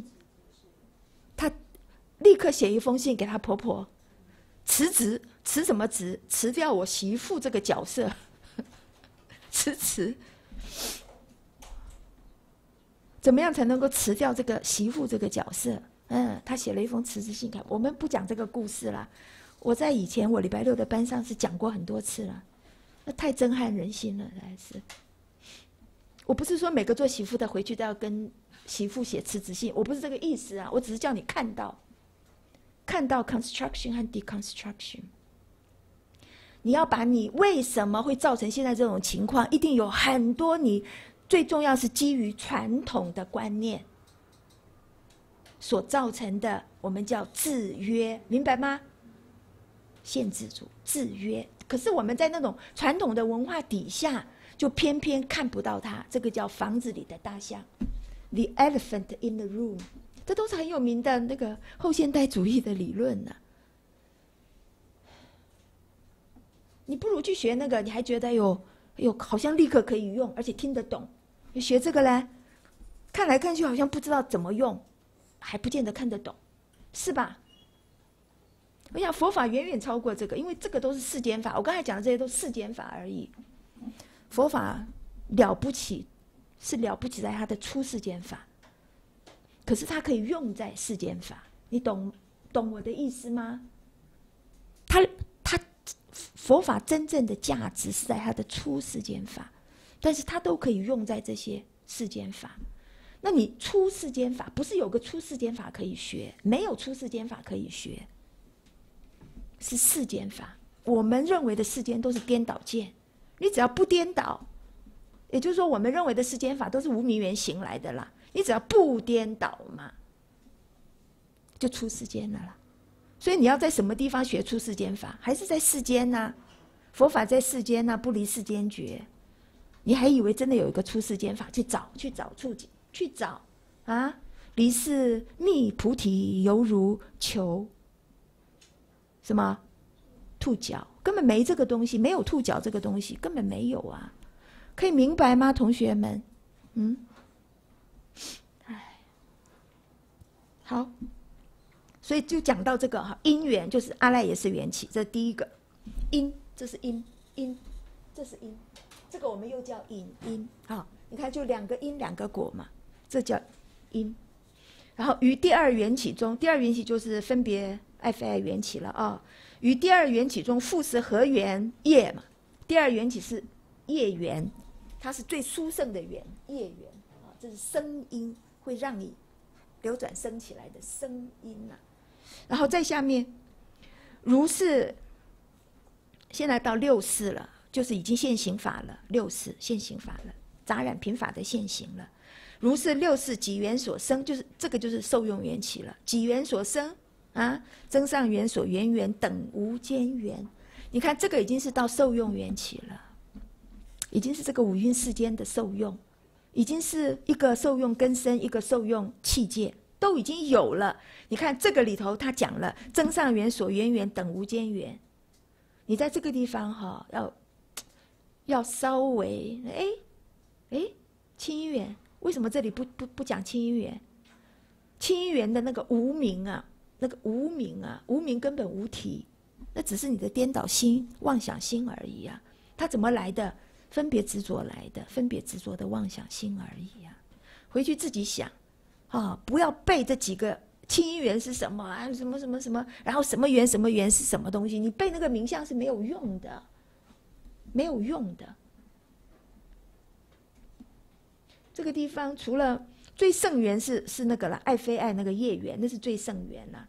可是你受用也是增上缘呐，苦的你会想办法避免，乐的呢，你想要再受用再受用嘛，所以我们都会趋乐而避苦嘛，是不是这样？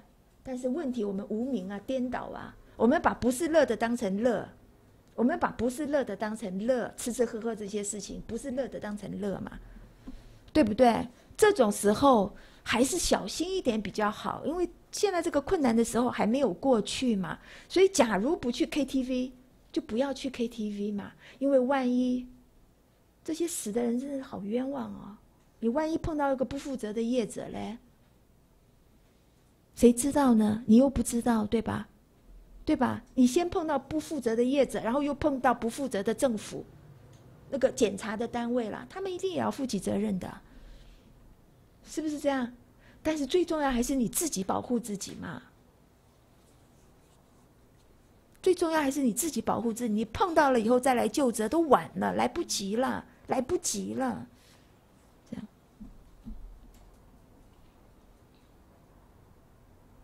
这都受用缘起了啊！你受苦还是受乐？这增上缘会让你重复那个行为的，会让你重复那个行为，就是重复爱非爱的行为的，是你的受用嘛？听得懂吧，同学？这增上缘，那所缘缘呢？所缘缘更是你的受用缘起嘛。所有所有你的所缘，你不要以为，你不要以为你的所缘在哪，在在外面，你的所缘在心里，所缘境都在你心里，离心是没有所缘的。你这个应该听得懂了，都是你是生时代笔相起，所有你的所缘都是一眼睛，应该听得懂了哦。然后一言境，这个这个这个一言是念念相续的等无间缘，所以不要去解释名相，要知道这个名相是怎么安立的。唯有语法假想安立，那你为什么会语法假想安立？因为有唯有诸业及果易熟，你修止观都是在这两个，唯有诸业及果一熟，这个是指事情的事，因缘果建立。然后这个事情有了以后，你怎么样？怎么样？唯有语法假想安利，那个想就是名言，都是名言。假想安利一一直都是名跟事的关系，名自己想明白就好。如是三种缘起，为穷生死，这阿赖耶是缘起啊。唯有阿赖耶是缘起，才可以讲穷生死。爱非爱去，好，这第二缘起了。爱非爱去，到你喜欢的、如意的，或者不喜欢、不如意的去。哼造业，假如是定业的话，那就已经那个去啊，就是呃五五五去五去六道啊，那个去三界六去，那个已经定业了，只是还没显现呢，还没显现。嗯，爱非爱去，即能受用果。果生起来就是能受用，受用缘起。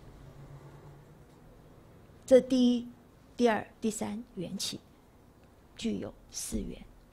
好，到这边结束。结束。如是以安利阿赖耶识一门即相体相，到这边结束。结束第三门了。然后复云何知如是一门及如是相？决定为在阿赖耶识非于转世，犹若远离如是安利阿赖耶识。下面要讲的抉择就在这边，杂染清净。你是你是要抉择要走杂染，哈，这个三杂染的这个流转道，还是要走清净这个转一环灭道？所以从这里开始，复云何之这里开始就是第四阿赖耶是六门的第四门抉择门。这一门很长哦，可是不难。最难的我们讲完了，下面就都是，下面要一直讲，一直讲，一直讲到二十六页，从这个十九页讲到二十六页，讲到二十六页抉择门结束。你们都已经写好了，我以前就告诉你们第几页第几页都讲了。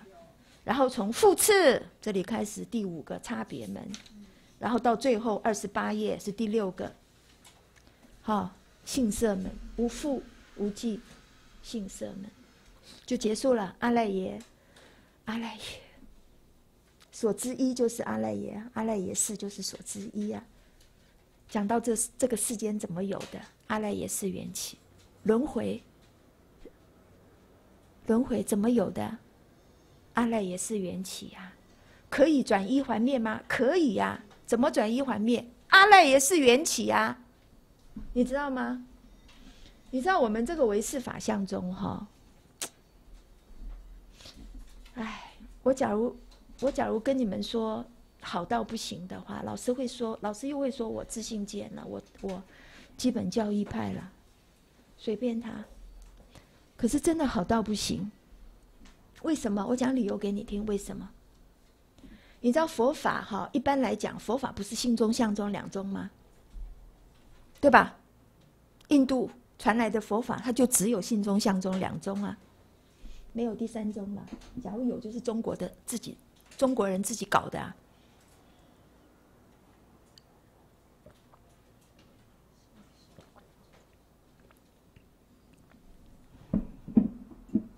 通常我们那什么是性中，什么是相中啊？通常我们就会把性中和相相中哈当成是空和有二中，对吧？性中是空中，相中是有中，有没有？我们通常用空有来说性相，有没有？那是因为你没有学阿赖耶识缘起，才会这样讲。假如你学过阿赖耶识缘起，像像现在。你就不会这样子分，因为像我们相中，我们法相中啊，我们学到现在阿赖也是缘起，你会觉得它是相中吗？嗯，还是它是性中？你会觉得它是有吗？还是它是空？啊？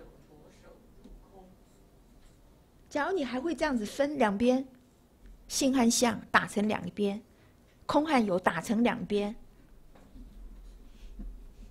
那你这白听了嘛？你白听了，我没有白讲，我很清楚，你就白听了嘛？你就完全白听了嘛？所以我们不是讲唯识法相是唯识中道义嘛？从头到尾都是中道义。他讲空讲有，不是叫你打成两边，是叫你如实之空，如实之有。你记得辩中辩论吗？唯识中道义的辩中辩，有无。即有故，有有也有无，无就是空啦，都要讲得清清楚楚。是则气中道，不是那种讲法。哎呀，讲空就不是有，讲有就不是空，那你两边都错。你你讲的两边空和有都是错的，不是这样，不是这样。通常哈，我们这误会很大。我们不但是这样子分是错的哈，有中空中或者是性中相分是错的，我们还把啊空中是什么呢？那个代表就是龙树的中论嘛，中论百论十二门论嘛，代表就是龙树嘛，龙树的中论。我们通常就是讲，哎呀，这就是空，空。然后假如是讲。讲这个这个这个，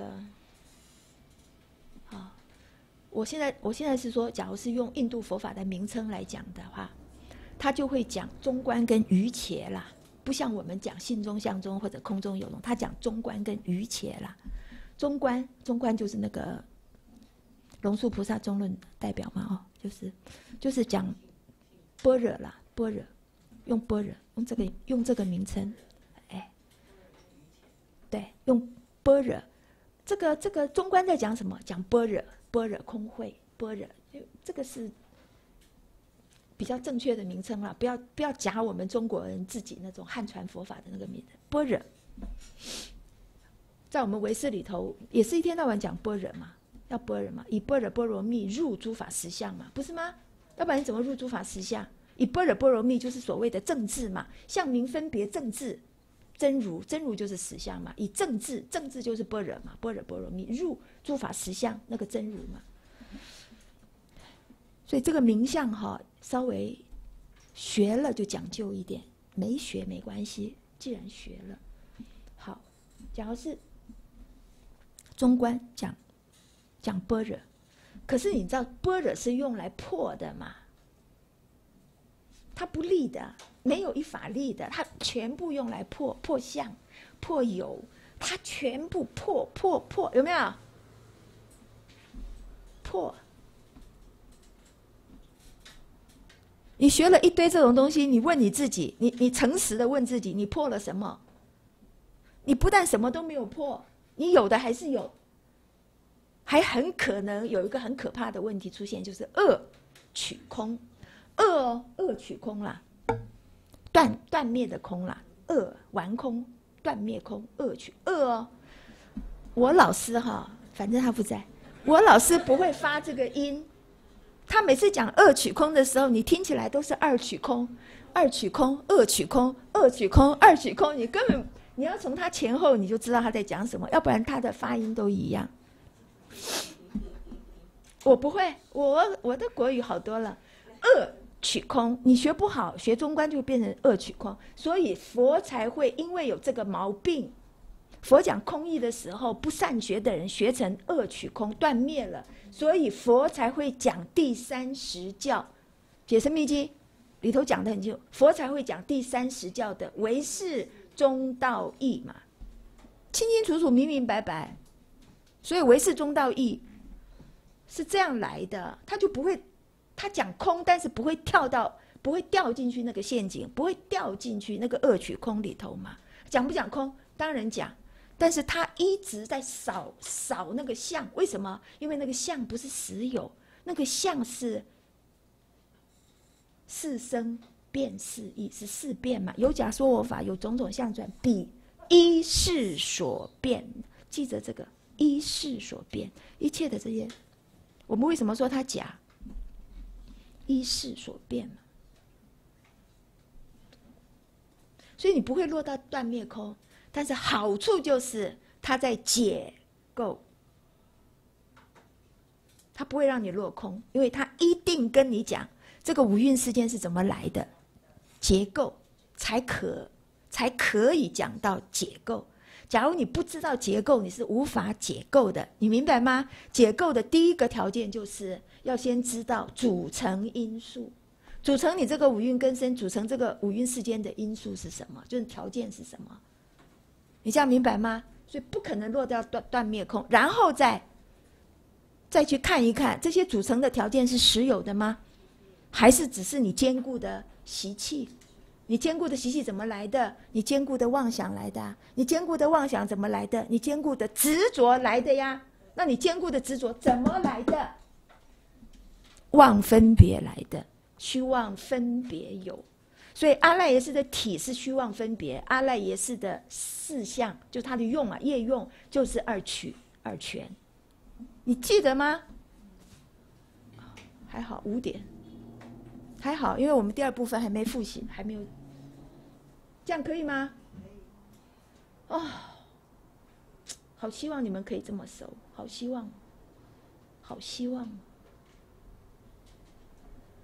可以哈。好，结束，开始第二第二第二。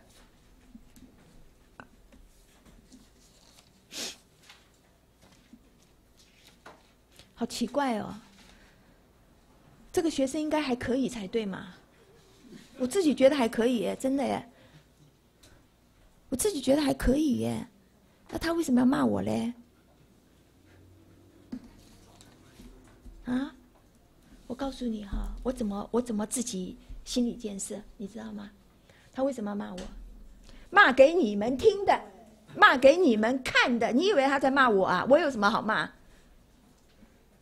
骂给你们看的，骂给你们听的，你知道吗？要不然他骂两下就不来了，骂两下哭了，骂两下，你有什么了不起？我干嘛？我干嘛要在这边挨你的骂？我不学了，我去。假如万一啦，骂你两下，你的法身慧命就 少了一块，怎么办？我是这样子想的啦。哎，你们说我想的对不对啊？对哈。所以他在骂我的时候，我心里就这样想：是骂给你们听的，骂给你们看的，只不过我做代表而已啊，是吧？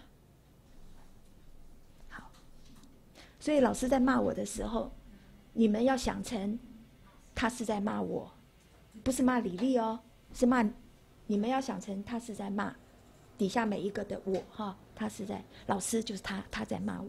他在骂这样比较合理嘛，对吧？到底对不对，李师兄？对，对哈，对不对？对，哎，现在应该你们了，要换成是你们了，真的。我当初也是从《白法名门论》，老师是从《白法名门论》教我了，不过他是一个教一个。第一天上《白法名门论》，那张纸我现在还留着，一个淡蓝色的哈。有一面是印什么东西的那个反面，可以写字对吧？第一天他在上面写，吓死我了。他写什么你知道吗？五变形，五别境，然后就是写五十一个心所的意思啦，哈，善心所、烦恼心所，然后不定心所，五十一个。第一天叫我拿回去背。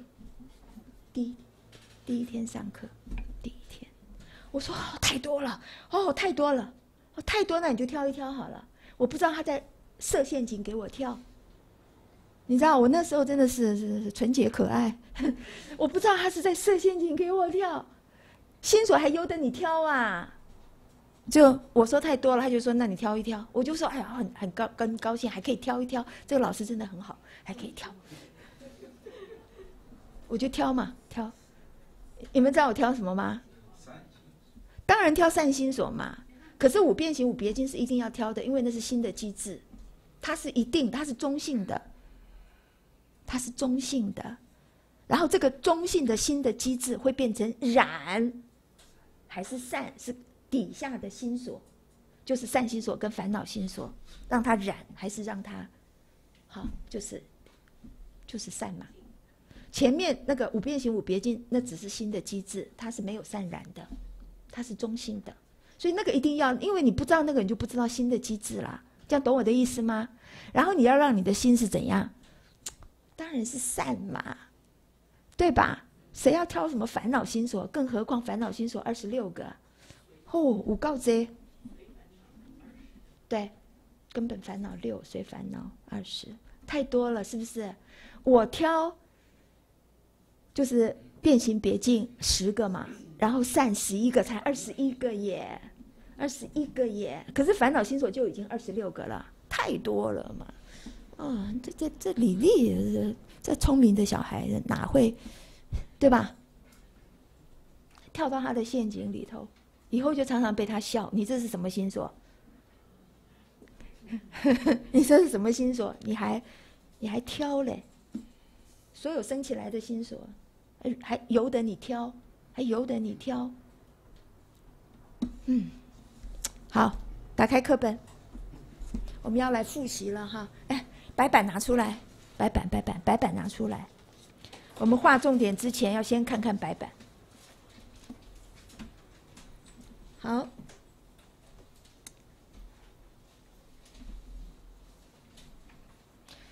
这个其实就是我们我我们大脑的功能，其实就是这样。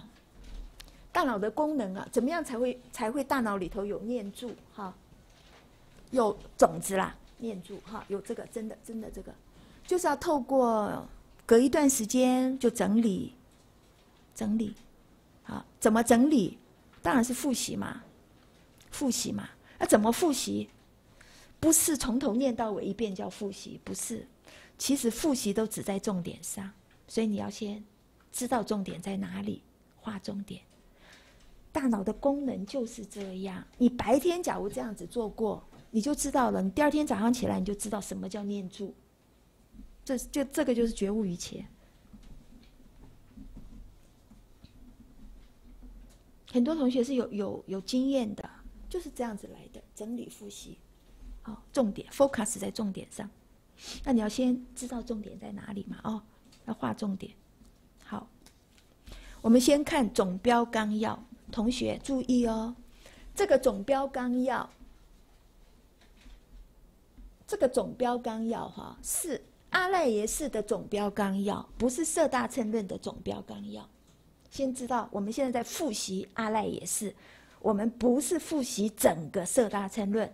色大乘论的总标纲要是十个殊胜殊胜语啊。那我们现在是在做阿赖耶识的总标纲要，不是色大乘论的总标纲要。好，这个总标纲要在我们开始讲阿赖耶识，就是所之一的第一天就讲了，十二月十八号。你看我这个我这个线铺多长？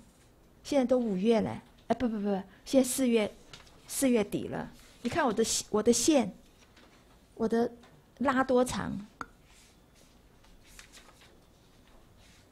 好，十二月十八翻开来，翻开来十二月十八。这个哈，我们我们从十二月十八号开始进所知一分。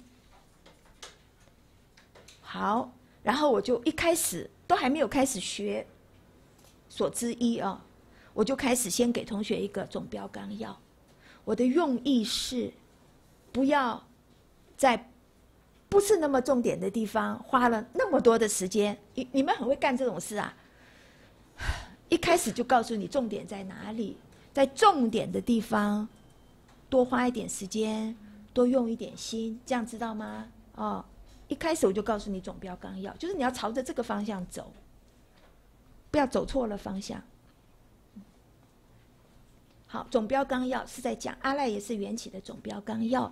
我底下一开始就说，所知一的总标纲要哈，所知一出体，你要先出体，出体就是阿赖耶识，所知一就是阿赖耶识，阿赖耶识就是所知一，所知就是这一切的境界、人事物、一切法叫做所知。所知的一是什么？根本是什么？一元是什么？就是阿赖耶识，明白了吗？明白了吗？嗯，好。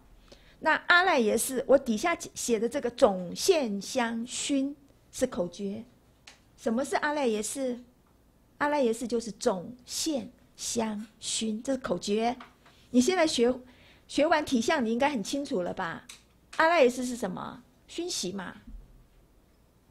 有熏习才会有种子色常嘛，要不然种子哪里来？啊，那那种子怎么来的？一切杂染品法的现行，与此色常为果性嘛？它是你杂染品法现行，就是这个这个转世啊，这个这个这个现行啊，第六意识的分别啊，这个现行以后留下来的后世力。可是这个留下来的后世力哈，色长了以后哈，假如你常常这样，常常这样这样熏它，它会变成很坚固的习气。耶，你这样懂我的意思吗？它自己会有这种这个力量，辗转的力量。这这个我们又叫做 organic，它是有生命的，就是有机的。它会 feedback，它自己养自己，它会这样哦 feedback，它是有生命的，辗转辗转。好，这个是总线香薰，这是口诀。总线香薰，我们把它讲完整。总线香薰讲完整，这个口诀就是。no，现行熏种子，种子起现行，就是这四个字总线香薰。或者你把它用六个字，哈，口诀六个字：现熏种，种生现。或者你用八个字：现行熏种，种升起。现行，都完全一样啊！看你喜欢用四个字，喜欢用六个字，喜欢用八个字，还是喜欢用比较长的？好，到最后十几个字，好长哦。这是我常常跟老师以前在玩的游戏。用两个字说熏习，用三个字说总熏线，就是它的那个我们刚才说解构的时候的那个 因素，一个是种子。一个是熏习，一个是现行，这是它的因素，还没有讲它的关系。它要有这三个因素，才会有熏习、种、现。呃，种和熏和现，你要用三个字，你要用四个字说“种现相熏”，这样好吗？下面要你要用几个字，你就自己想办法嘛。为什么？这就一直让你在这里徘徊啦，熟悉它了。是这个用意啦，而不是它没有任何必要性。你可以不要做这种事，可是，假如你自己跟自己玩这个游戏，你会越来越熟，越来越熟，熟这种名言，熟这个法义，懂我的意思吗？是，以前老师最先开始，他跟我，他跟我玩的就是四要说到十个字，从四是一个字对吧？要说到十个字，一个字是嘛？两个字，哎呀，为是嘛，我管你的，反正只要有事就好了。这个游戏规则只有这样，要有事，其他随便你了。三个字，为是事嘛；四个字，万法为是嘛；还有别的很多啦，为是无益嘛，都有事，只要有事就好了。五个字、六个字、七个字、八个字、九个字，说到十个字，你们自己跟自己玩呐，好吗？这样子只是叫你跟他很熟悉啦，常常跟他在一起，跟他在一起哦，好不好？嗯，好。然后这个总线相熏会怎么样？会有什么现象？横转如瀑流嘛。所以阿赖耶识就叫做阿赖耶识就叫做横转如瀑流。好加在虽然横转如瀑流，但它是无复无记性。横转如瀑流。所以一开始就讲了。所知意是什么？是阿赖耶识。阿赖耶识是什么？总现相熏。它的现象呢？横转如瀑流，横转如瀑，这样懂吗？啊，好。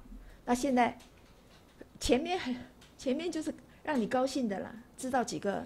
嗯，后面才是真的，才是真的要好好的去修止观的啊。为行为法为事为因为果，这个就是缘性缘起无为。五为，这就是缘性缘起。在《瑜伽师地论》里头，这就是缘性缘起的定义。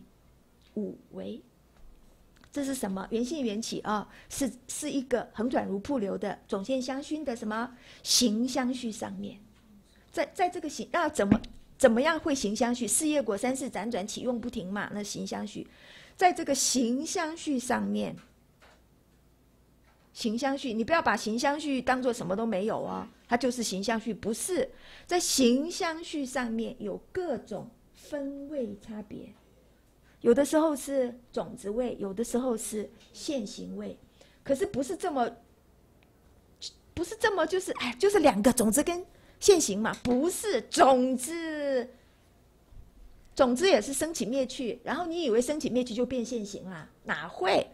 升起进灭去还是种子，它是在受熏而已。你要懂我的意思吗？到什么时候，我告诉你，你总是有一天啦，它会一熟了，也就是所谓的显现，显现了，显现了，它总是有一天会显现这个显现通常就是这个熏习的量变引起的质变了，它就显现了。好，你要记着“显现”这两个字。你不要说有生、有法、有什么没有，只有显现、显现。所以从一开始啊，我学的就是这样学。我教我我在教的时候，我也是这样子教。只有因缘和合、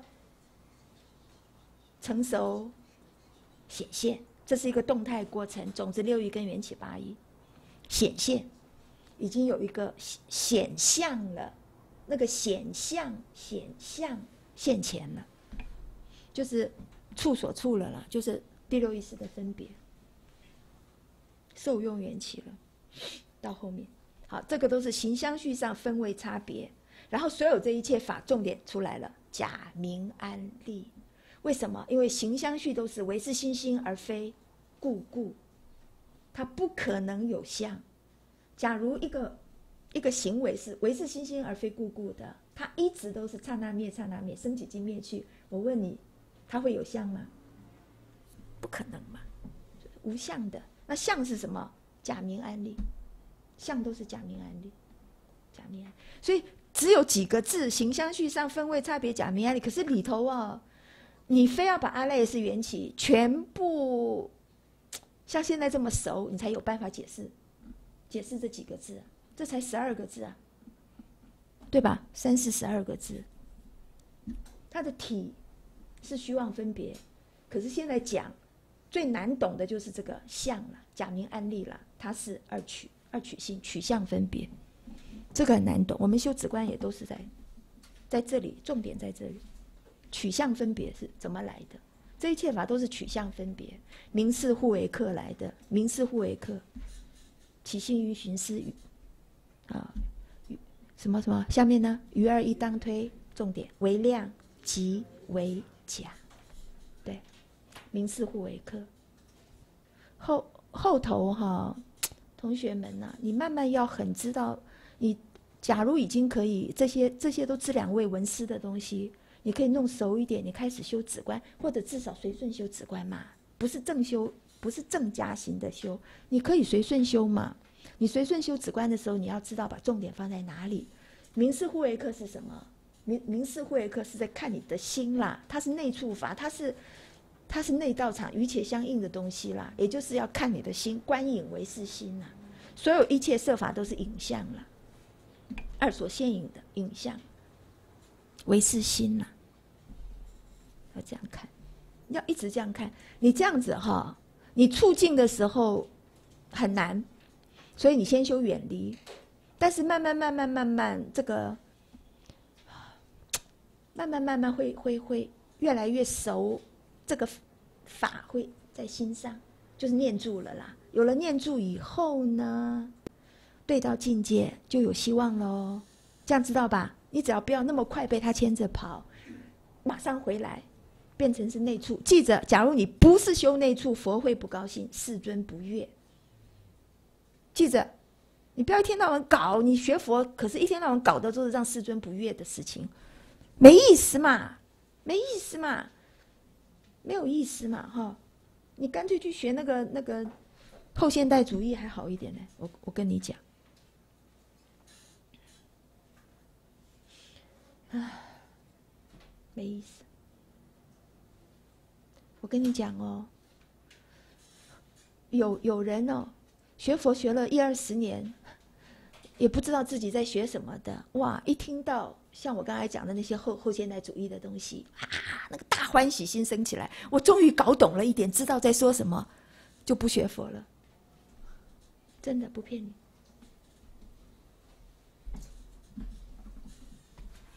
可惜呀，就像那个小儿啊，被那个一个棒棒糖或者一个拨浪鼓就骗走了一样，很可惜。根本不知道好东西在哪里，以为那个就是好东西啦。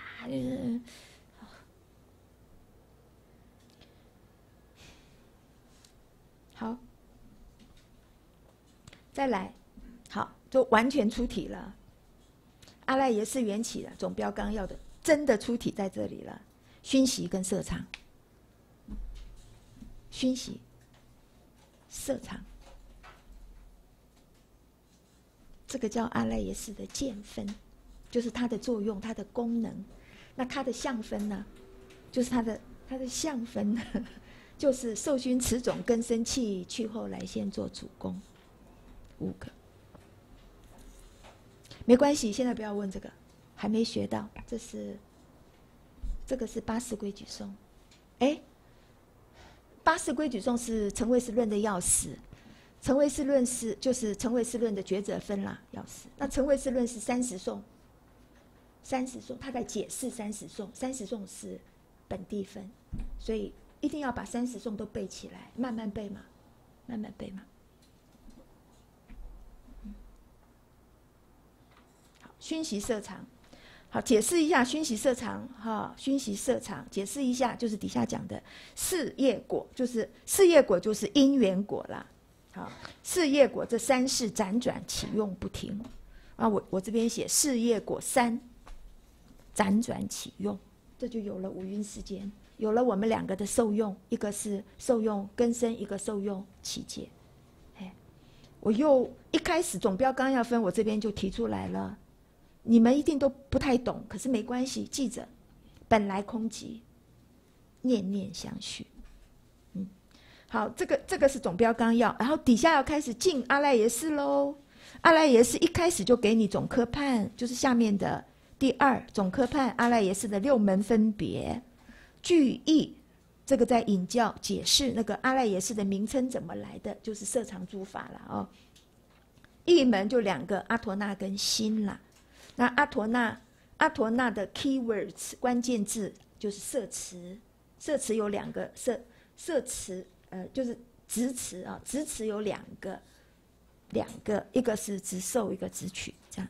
阿陀那心呢？新的 keywords 就是积极，积极哦，它是一个，它是一个积聚，积聚，积极。嗯，好，好，现在我们一直讲体相，讲了这么久，现在才第三门体相。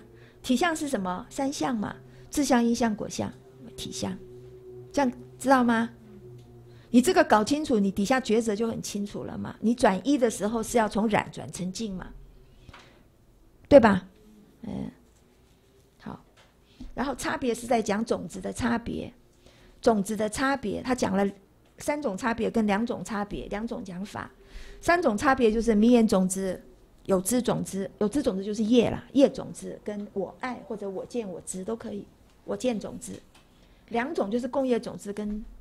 共业这共相，这个共共相哈，我们外面这个这个世界，共相的种子跟自业的这个自相的种子两种，性色很简单，无复无记色，这样子已经有六门跟分别的概念了，对不对？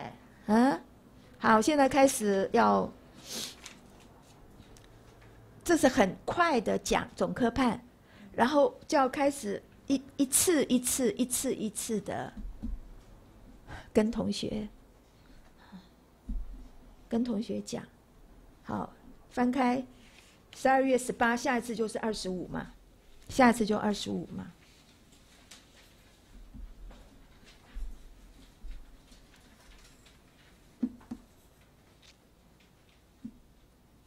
翻开了吗？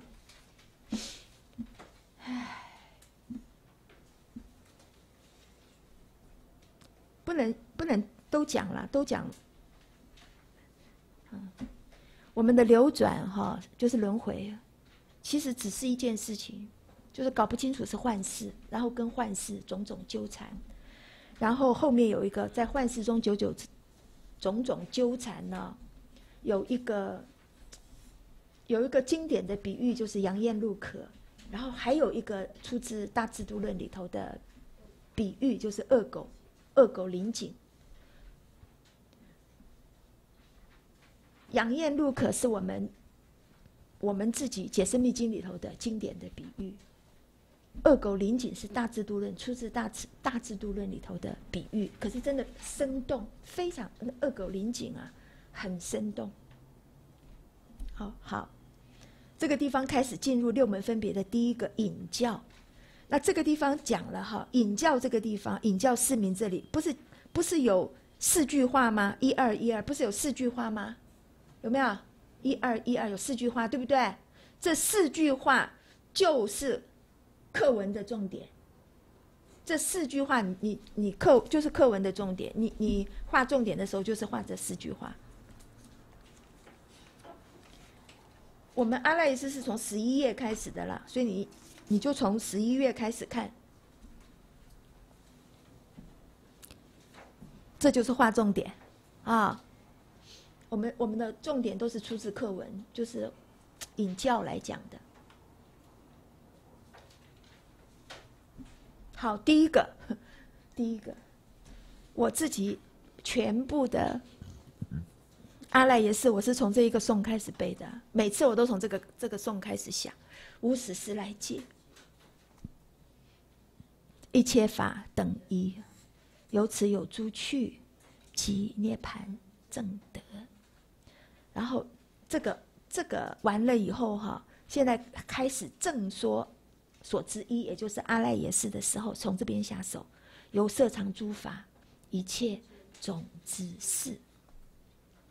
这这个就是在解释前面那个无始时来戒，戒是什么？戒就是这个种子是，一切种子是。那一切种子是怎么来的？由色常诸法，这个故名阿赖耶圣者我开示。好。那这一句话啊，哦哦，在底下你看第二句那个白板里头的第二句，有没有？有色常诸法一切种子是，故名阿赖耶圣者我开示啊。这第二句话，然后第三句话呢，就是接着下面的啊，为什么阿赖耶是叫做阿赖耶识啊？啊，就是色常种子，那色常就是色常诸法了，就是色常种子了。那这个又是怎么来的呢？种子怎么来？怎么色藏的呢？就是底下解释：一切有生杂染贫法，与此色藏为果性故，又即此事与彼色藏为因性故。这个假如你背不起来，你就背我们今天讲的。今天讲什么？诸法于世常，是与法异而相根互为果性，异常为阴性啊！你就背这个啊。最好都背得起来了，知道吗？这个这个现在讲的这个重点，他他为什么这样写？他的重点放在能藏所长。那阿赖耶识是三长，色长是有三长的，能藏所长还有一个直藏，直藏就是下面这一句：或诸有情色长此事为自我，自我出来了。为什么我们会有这个感觉？自我，自我出来了，这个也叫阿赖耶识啦。可是通常我们把这个这个自我，我们通常我们不叫阿赖耶识，我们叫阿陀那识。嗯，他就是第七莫那。好好想一想啊，阿赖耶识就是色常诸法。那我们一般人什么叫色常诸法啊？就是你那个啦，你那个呢？你那个里头无量劫的那个记忆啦。可是问题是我们无量劫来都是贪等熏习啊。所以你的记忆不是宝藏，有什么好？你现在要那个叫一子性。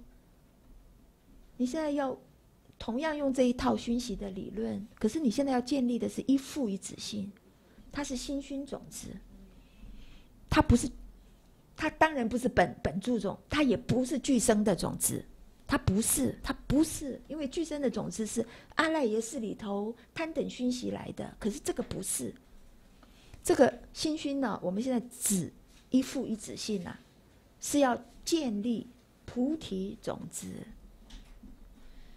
它是心熏的，可是这个心熏的来源是圣言量，知道吗？切莫信汝意，汝意不可信，嗯，一定这个这个一定是圣言量来的，最极清净法界等流，好，好，这样子哦，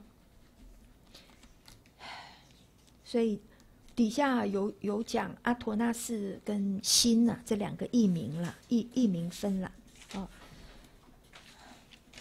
然后你就可以翻到要讲要讲体相了，十五页了，十五页了，好，你你的课本就可以翻到十五页了啊，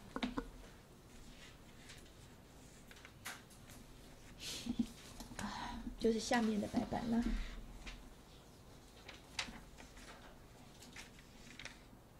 种子，我们下面呃一月八号的白板，最重要是要讲种子，熏习的重点就是种子嘛，对不对啊？什么叫熏习啊？就是熏习的结果是什么？受熏持种嘛，就是种子嘛。那种子会怎样啊？种子会带缘起现行嘛，就是种子会易熟嘛。所以重点都在种子上面嘛。哦，好，那种子我们要转世成成智啊。要转世成智啊，从哪里下手？从圣言量多闻熏习下手嘛，对不对？这个就是在心熏种子，所以种子本来分本性助种跟习所成种的。本性助种你不要管它，你就不要管它了，那个是就是本性助种，人人本具的哦。然后再下来习所成种有没有两个？一个随着你的根生，你这一期的果报体根生就有了，我们叫具生种子，有没有？我告诉你，它就是我执法执为主的啦，具生种子，然后心熏种子，我们这一期的果报生，这一期的生命来干什么的？来心熏种子，可是不是单等贪等熏习，不是干那个轮回道贪等熏习，是要正闻熏习，这样知道吗？就一夫一子心，好，这是重点啊。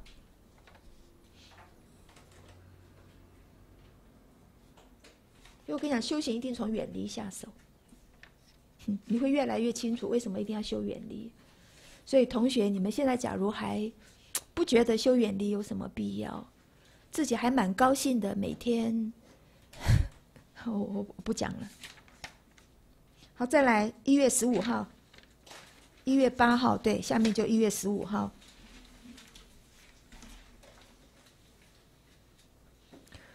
一月十五号要讲诸法的因是什么？诸法的因就是种子嘛，也就是，也就是呃，你为什么要学这个呢？就是为了要学这一切法是怎么回事？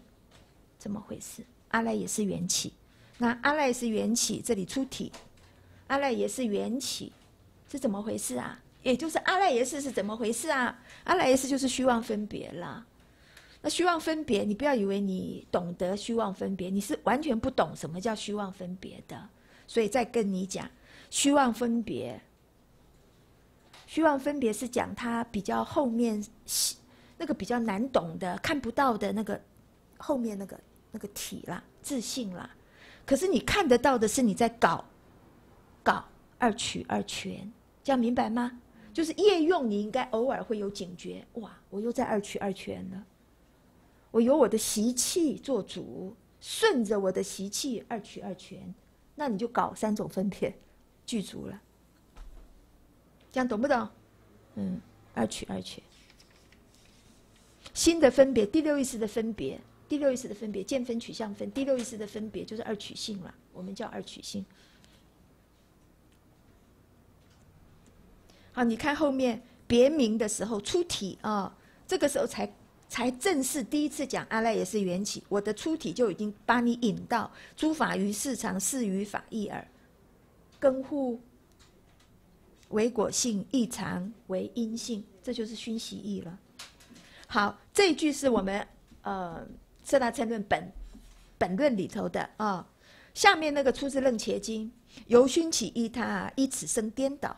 如是互为缘，辗转生相续啊！好，底下有一个欲说了，欲说欲说，就是刚刚说的很生动的那个恶狗林景，嗯，好，这个这个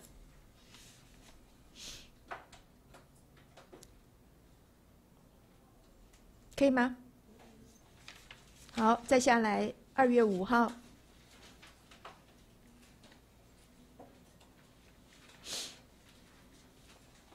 二月五号哈，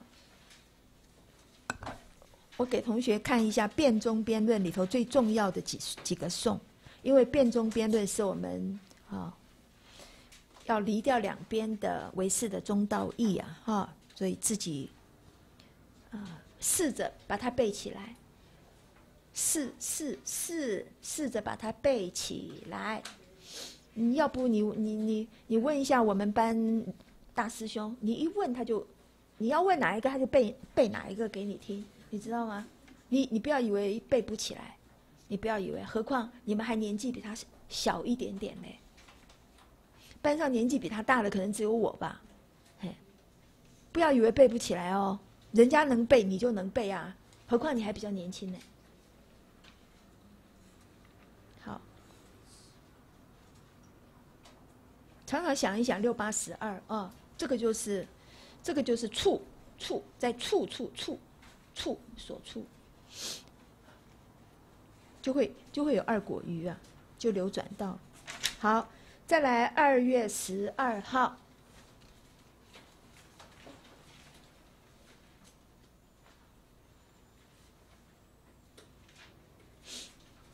都讲了，你看我又一次。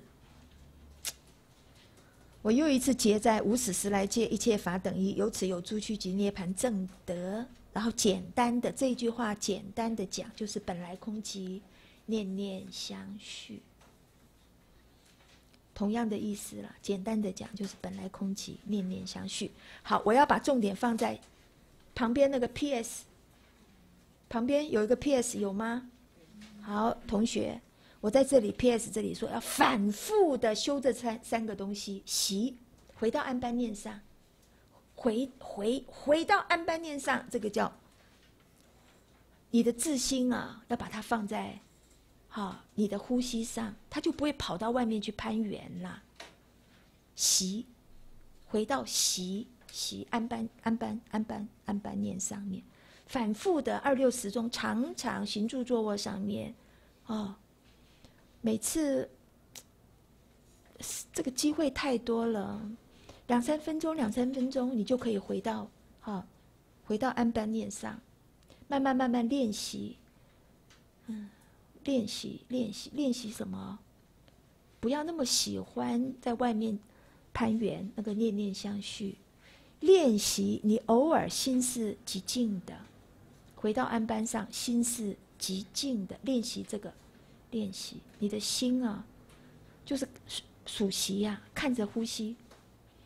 假如看着呼吸，你的心没有办法极静，那你就开始数，你就开始数，让你的心啊很熟悉，回到安班上，回到安班上。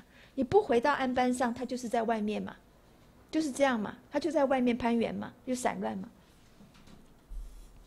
这样可以吗？要有这种念。念念就是铭记不忘，这件事情要一直做，铭记不忘，知道吧？等到你的心随时都可以止得下来，你的心有了专注力以后，你就要开始修想了。想就是正念正知了。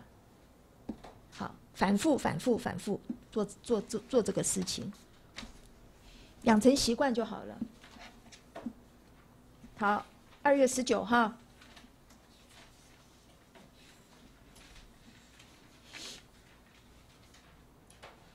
二月十九号，哈，在正说的时候是要进到一门，所以就在这里还在讲阿陀那斯而已，就在讲阿陀那斯的那个那个直受跟直取。可是我今天复习，我的重点不放在这里，我的重点要放在 P.S. 的 P.S. 二，P.S. 二，回顾一生有没有？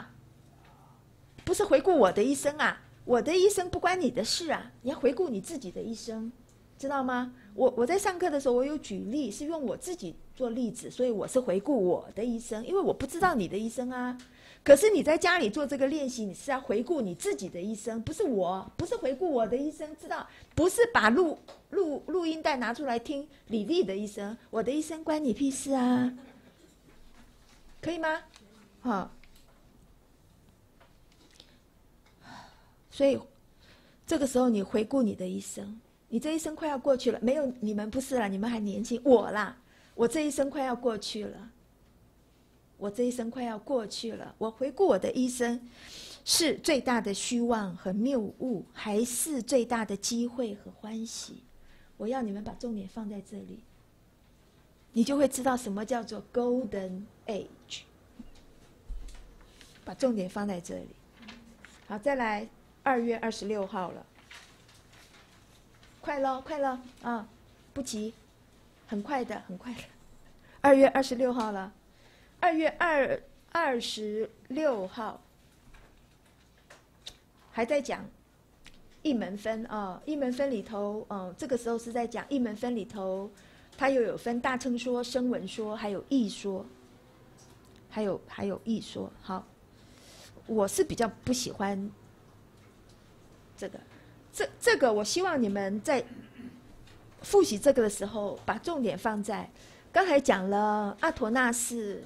我们是把重点重点放在他的那个杂染啦，哈，就是职场职，放在他的杂染就是职场啊，我执法职上面，那就是这个我执法职，让我们有情日夜正昏迷，把重点放在这边，恒审思量我相随，我哈我哈有情日夜正昏迷，那这个我有人我和法我吗？我执和法执。这样子你就会是二果鱼了，有二果鱼，哈，一定有三四鱼，这绝对的了。所以你就会进到三月四号，得到就就从这个二果鱼哈，你就会得到这个 P.S. 的第一个生命本来是恩典，却被我们活成了苦果嘛，二果鱼被我们活成了苦果嘛。然后想一想为什么？因为你跟。幻世纠缠不休，用恶狗灵井的比喻来想，嗯，底下那个二世人一世人为世人为什么是颠倒的？是无名的，因为一于两边，这是鼎鼎有名的什么经？瞻加瞻言，对，这是鼎鼎有名的加瞻言经。嗯，如来离于两边，如实正观。好，这个同学们，我比较希望你们把重点放在 P.S. 的三，不要去想那么多的道理，像加瞻眼睛，把重点放在三。我们都是愚痴无闻凡夫，不是在讲别人哦，就在讲自己，讲我们自己。我们都是愚痴无闻凡夫。我们的我见就是你的我执法执，刚才讲的我执法执，这俱生的习气什么时候生起来的？在五受运上面生我见。你本来五受运呐，就一定带有俱生我执、俱生法执了。可是这个时候还会生分别的我执、分别的法执、自性见、差别想都生了。那五受运是指什么？就是处了啦，根尘是处。处那个所处啊，你要看得好清楚，一直一直把六八十二放在心里，常常去思维一下啊，也就是我们所说的观五蕴或者四四住，都一样，都完全一样。好，把重点放在这边。好，再来三月十一号，你看多快啊！三月十一号，三月十一号有非常非常难的论上面的句子，叫做“熏习能权，何为”。所权。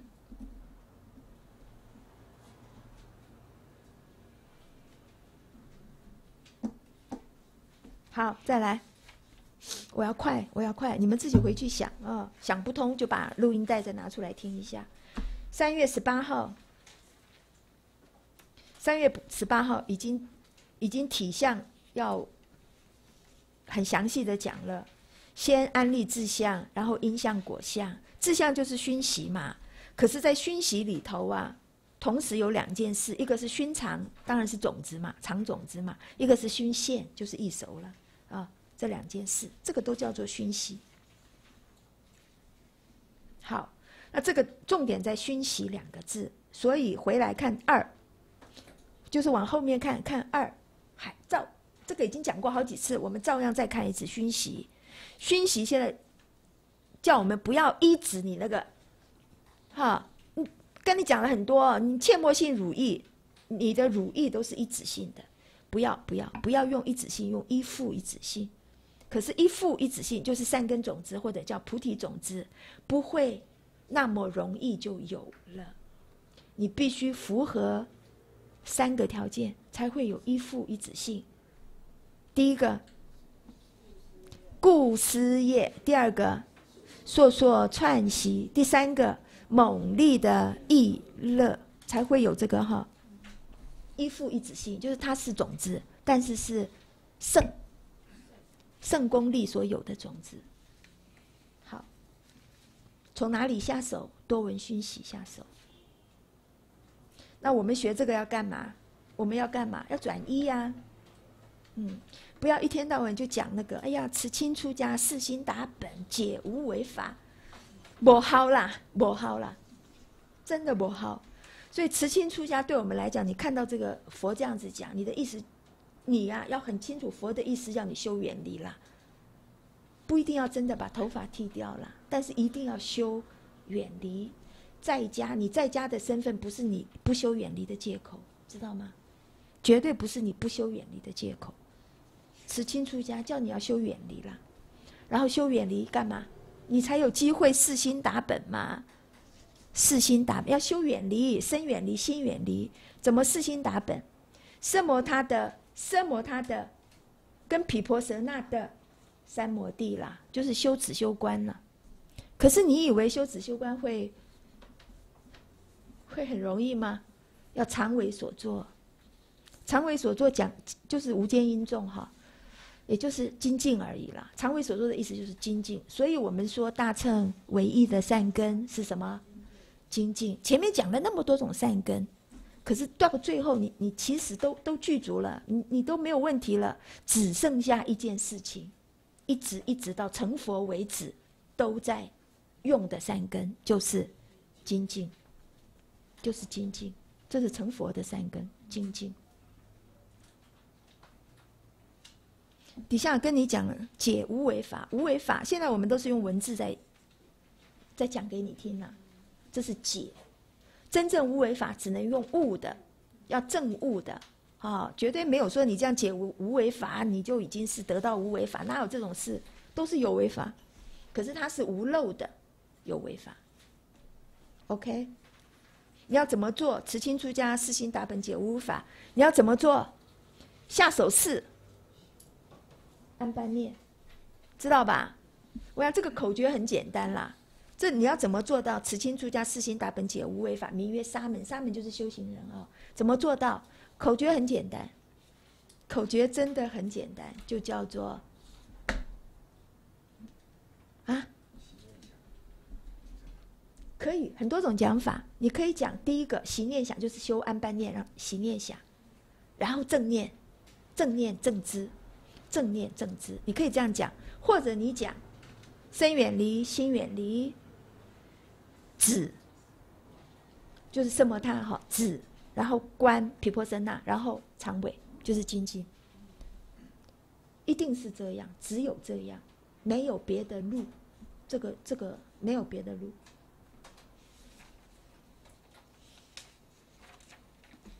假如你以为有别的路，你最好来告诉我，我就会跟你讲为什么不对。假如还有别的路，一定不对。啊，然后三月二十五号。要讲到音相还是体相里头的啊？第二门音相，音相好，把重点放在两个比喻，非常非常重要的比喻，把重点放在两个比喻，明灯跟邪衣，放在这两个比喻上。明灯的比喻，这个经典的比喻哈，它是在理上面告诉你，任何时候都是三法，只有三法才能啊成就一个法，而这个三法，你以为有法生吗？那个法，你认为有法生的那个法是幻象，就像焰。事实上，只有住在烧，住就是一切种子，知道吗？烧呢，业，业自业所作，自业所作就会有因果，相续相似转。好，邪一呢，啊，叫你要知道抉择啦。抉择，近朱者赤，近墨者黑。你要你要哪一个？你这样懂我的意思吗？他叫你抉择啦，你不要一天到晚做无闻凡夫、无名处所处，不要这样子，一天到晚你的处所处都是无名相应，不要这样。这个是邪意欲，知道吧？都是三法，都是三法啊。每次你要养成这个习惯，只一定是三法。像你熏习就是啊，能熏所熏跟熏习嘛。你修止观对吧？能观所观，观察嘛，如理的观察嘛。这样懂吗？好，到四月了，要开始进了，要开始进种子六亿缘起八亿了。好，四月一号讲两个两种缘起啊，两种缘起。然后要讲种子六亿和缘起八亿的时候，先跟同学讲一件事情，啊，就是谁为先，谁建立，谁合合合法生。你你你这个要常常，这是一个我们修止观的时候的自问自答：谁为先？那当然种子为先呐。可是种子不是自己有的呀，种子不是有吗？诸法于市场。才会有种子嘛？哦，种子谁建立？当然是缘建立啊。可是缘是什么？缘缘有很多很多啦，众缘啦。可是缘里头最重要的是业，业缘，业缘叫做圣缘，对不对？哦，可是有因有缘，就一定会有法生吗？哼，不会，要和合，就是你真的要去做，做，要做。做作业要作业，谁合合？作业，然后合法生哦，这个问题真的是合法生啊？谁讲什么？刚刚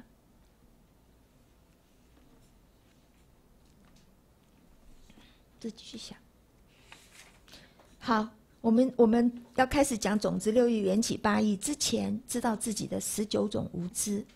那我们现在。从修行无知下手啊，要在处这里，处处这里特别，这里啊特别的小心啊。每次每次颠倒无名，就是从这里升起的处，处处这里升起的。到四月八号喽，四月八号讲种子六亿和缘起八亿了。嗯，你只要能够回答一个问题：有生否？有生否就好了。好，再来，四月十五号，佛讲这个生生缘起的种子六亿缘起八亿，为了什么？为显无我，这就是缘起。佛讲缘起八缘起八亿的总标中那个离有情义是缘起义啊，离有情我们我们叫做就是离就是没有了无了，有情就是我了无我，所以你在。你在所有学这些法义的时候，你都要知道，我们的目的不是要去学那些法义，我们的目的都要走向无我。你的方向就对了。假如你的目的是升起来一切的法，一切，哎呀，好多的名相，那你就错了。其实你的方向就错了。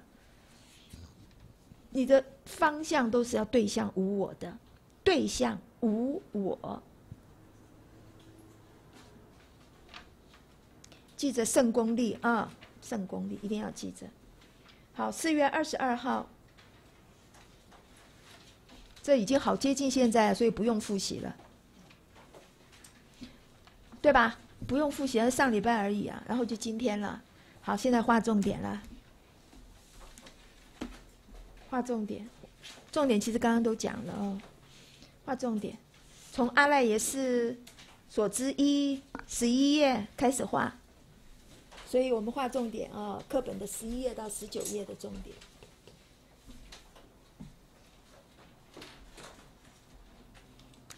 知道吧？十一页的重点都已经画了很多遍了吧？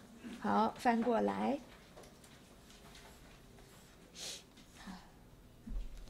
这个。阿陀那斯就是第七莫那要单独去学，这里是远远不够的，一定要单独去学。这边远远不够，这边的重点是在第八阿赖耶识，啊，好，好，恭喜你们哦，翻得很快，十五页，十五页。开始体相门三项，三项刚刚都有复习过啊，三项，然后有一个很难的很难，我也不知道为什么要写的这么难，还有一个很难的句子就是，这里在解释熏习，他用这种解释方法，熏习是能权，就是你这一念心了，那何为所权？所权就是这一切法了，可是他这样讲就好了，为什么要？熏习能权何为所权？好像好难呢。然后底下说为一笔法，就是一切杂染品法而现行的那个法哈，跟那个笔法现行的杂染品法同时哦，因为他说具嘛，俱生俱灭，同时哦，此中有有什么能生彼因性？这个受熏词种很清楚，对不对？对吧？这个叫做所权啊。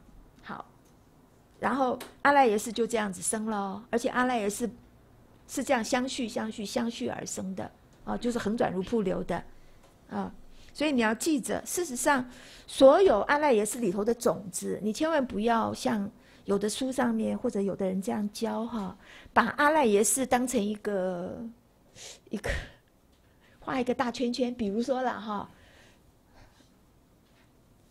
或者画一个好像电锅一样，然后。种子就是里头的米，一颗一颗，千万不要这样。或者画一个仓库，里头很多很多，一个房间嘛，里头很多很多的稻子啊、麦子啊什么的，千万不要这样，求你们了，千万不要这样，千万不要这样，啊，千万不要，我我不愿意去说那样子啊，可是千万不要这样。因为阿赖也是不是这样，阿赖不是那个一个仓库里头的那个一点一点一点的种子。为什么阿赖也是从来没有静态过？阿赖也是横转如瀑流，阿赖也是从来没有静态过。你把它想成一个仓库里头的那些静态的那些东西放进去就放进去了。阿赖也是从来没有这样过，进到阿赖耶识里头就从来没有一颗一颗过。它就是一种功能性，能生比功能差别，能生比功能差别，它它就变成是能生比功能差别，它从来没有静态过，你知道吗？怎么可能那样子画里头那样子，然后那个东西还还跟你讲哦，这一颗就是善种子，这一颗就是就是什么什么杂杂染的种子，呃，然后遇到缘就这个又起现行，然后这个又起现行，我的老天！全部那些哈，我不管你以前听过什么或干嘛哈，你都依着色大乘论重新学习。OK，那重点就是哈，什么是音相？十六页导数第三行，阿赖耶识与比杂染诸法同时更互为因，这就音相。然后经典的比喻，明灯一定要画起来，常常去想明灯，明灯。然后下面回答一个很重要的问题：假如阿赖耶是无复无记性，它无就是这里无意无杂，那么为什么以后预言起现行的现行法又是又是又是有意有杂的呢？这样懂吗？就是这里头的邪依欲啊，所以你要很小心你现在的境界，不要随便到外面去碰。你你外面碰什么境界？我问你，你外面碰什么境界？你到外面去，你看得到法性哦。虽然一直都在，你什么时候看到过法性？你看到都是习性。你什么时候看到过法性？你以为哎呀，反正我本具，我这是本著种的本本具的我的法性。你什么时候看到过法性啊？所有你的处所处都是习性，好不好？同意吗？你根本绝对输他的啦，你绝对输他的啦。所以你只有唯一的办法。修远离，让自己慢慢长大，有一点功夫，你知道吧？你现在是拜山学艺的时候，不是下面，不是下山去跟敌人面对面，你死我活，你绝对死的啦！你你死我活，你绝对死。你可以听得懂我的意思吗？你不要一回家碰到女儿，女儿一跟你发牢骚，你就你就死了，你的习气就现起来了，你的习气就现起来了。哎，我说的你的女儿是成年人哈，三四十岁的哈，那小孩子当然不能这样子，你不能这样对他了。小孩子不行，小孩子，小孩子还是还是要熏他的时候了。嗯，他已经他已经几十岁了，四五十岁了，你回去碰到他你就没辙了，你的你都是被他熏的，他好像你的主主人主宰他。讲两句好话，妈妈，我好爱你哟，你就高兴死了。讲两句难听的话，都是你害我，害我现在生不如死。你你就觉得完了，我完了，我完了。到底谁是主人呐？就是你被他熏了，你懂我的意思吗？你你你千万不要以为永远你是能熏，他是所熏，不是能熏所熏，看谁的功能比较大，功能强的就是。比如说，现在照理来讲，同学们，按照道理来讲，现在应该我是能熏，你是所熏才对嘛？假如你的心是一个干净的杯子啦，哈，是一个干净的容器，那么应该我是能熏，你是所熏嘛？我往里头放放圣颜料，这个叫熏习嘛，对吧？能熏熏所熏嘛，对不对？不然不一定。现在也许你在下面一直都在，你有一个你自己的标准呐，就是你的自信界。要进入你这个杯子，要先看看 你的自信键容不容许他进来，你知道吗？才不一定嘞，就能君所君不是这样分的哦。你你自信键好大，啊你永远都是你是能勋了你自己了。好，这个地方两个经典的比喻，多放一点在经典的比喻上。哦，再来，再来就到今天了，就不用复习了。十八页就开始五送、二送，哦，用这个科判练习做科判，二思根护为缘。好，结束。这样知道吗？重点都画了，对不对？回去知道一定要这样子做，这就是我们大脑的功能，本来就是这样。你不要以为天上会掉馅饼，绝对不会。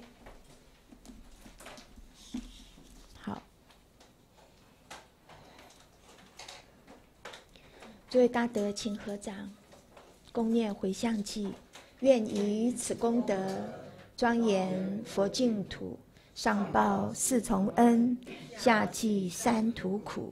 若有见闻者，悉发菩提心，尽此一报身，同生极乐国。谢谢大家。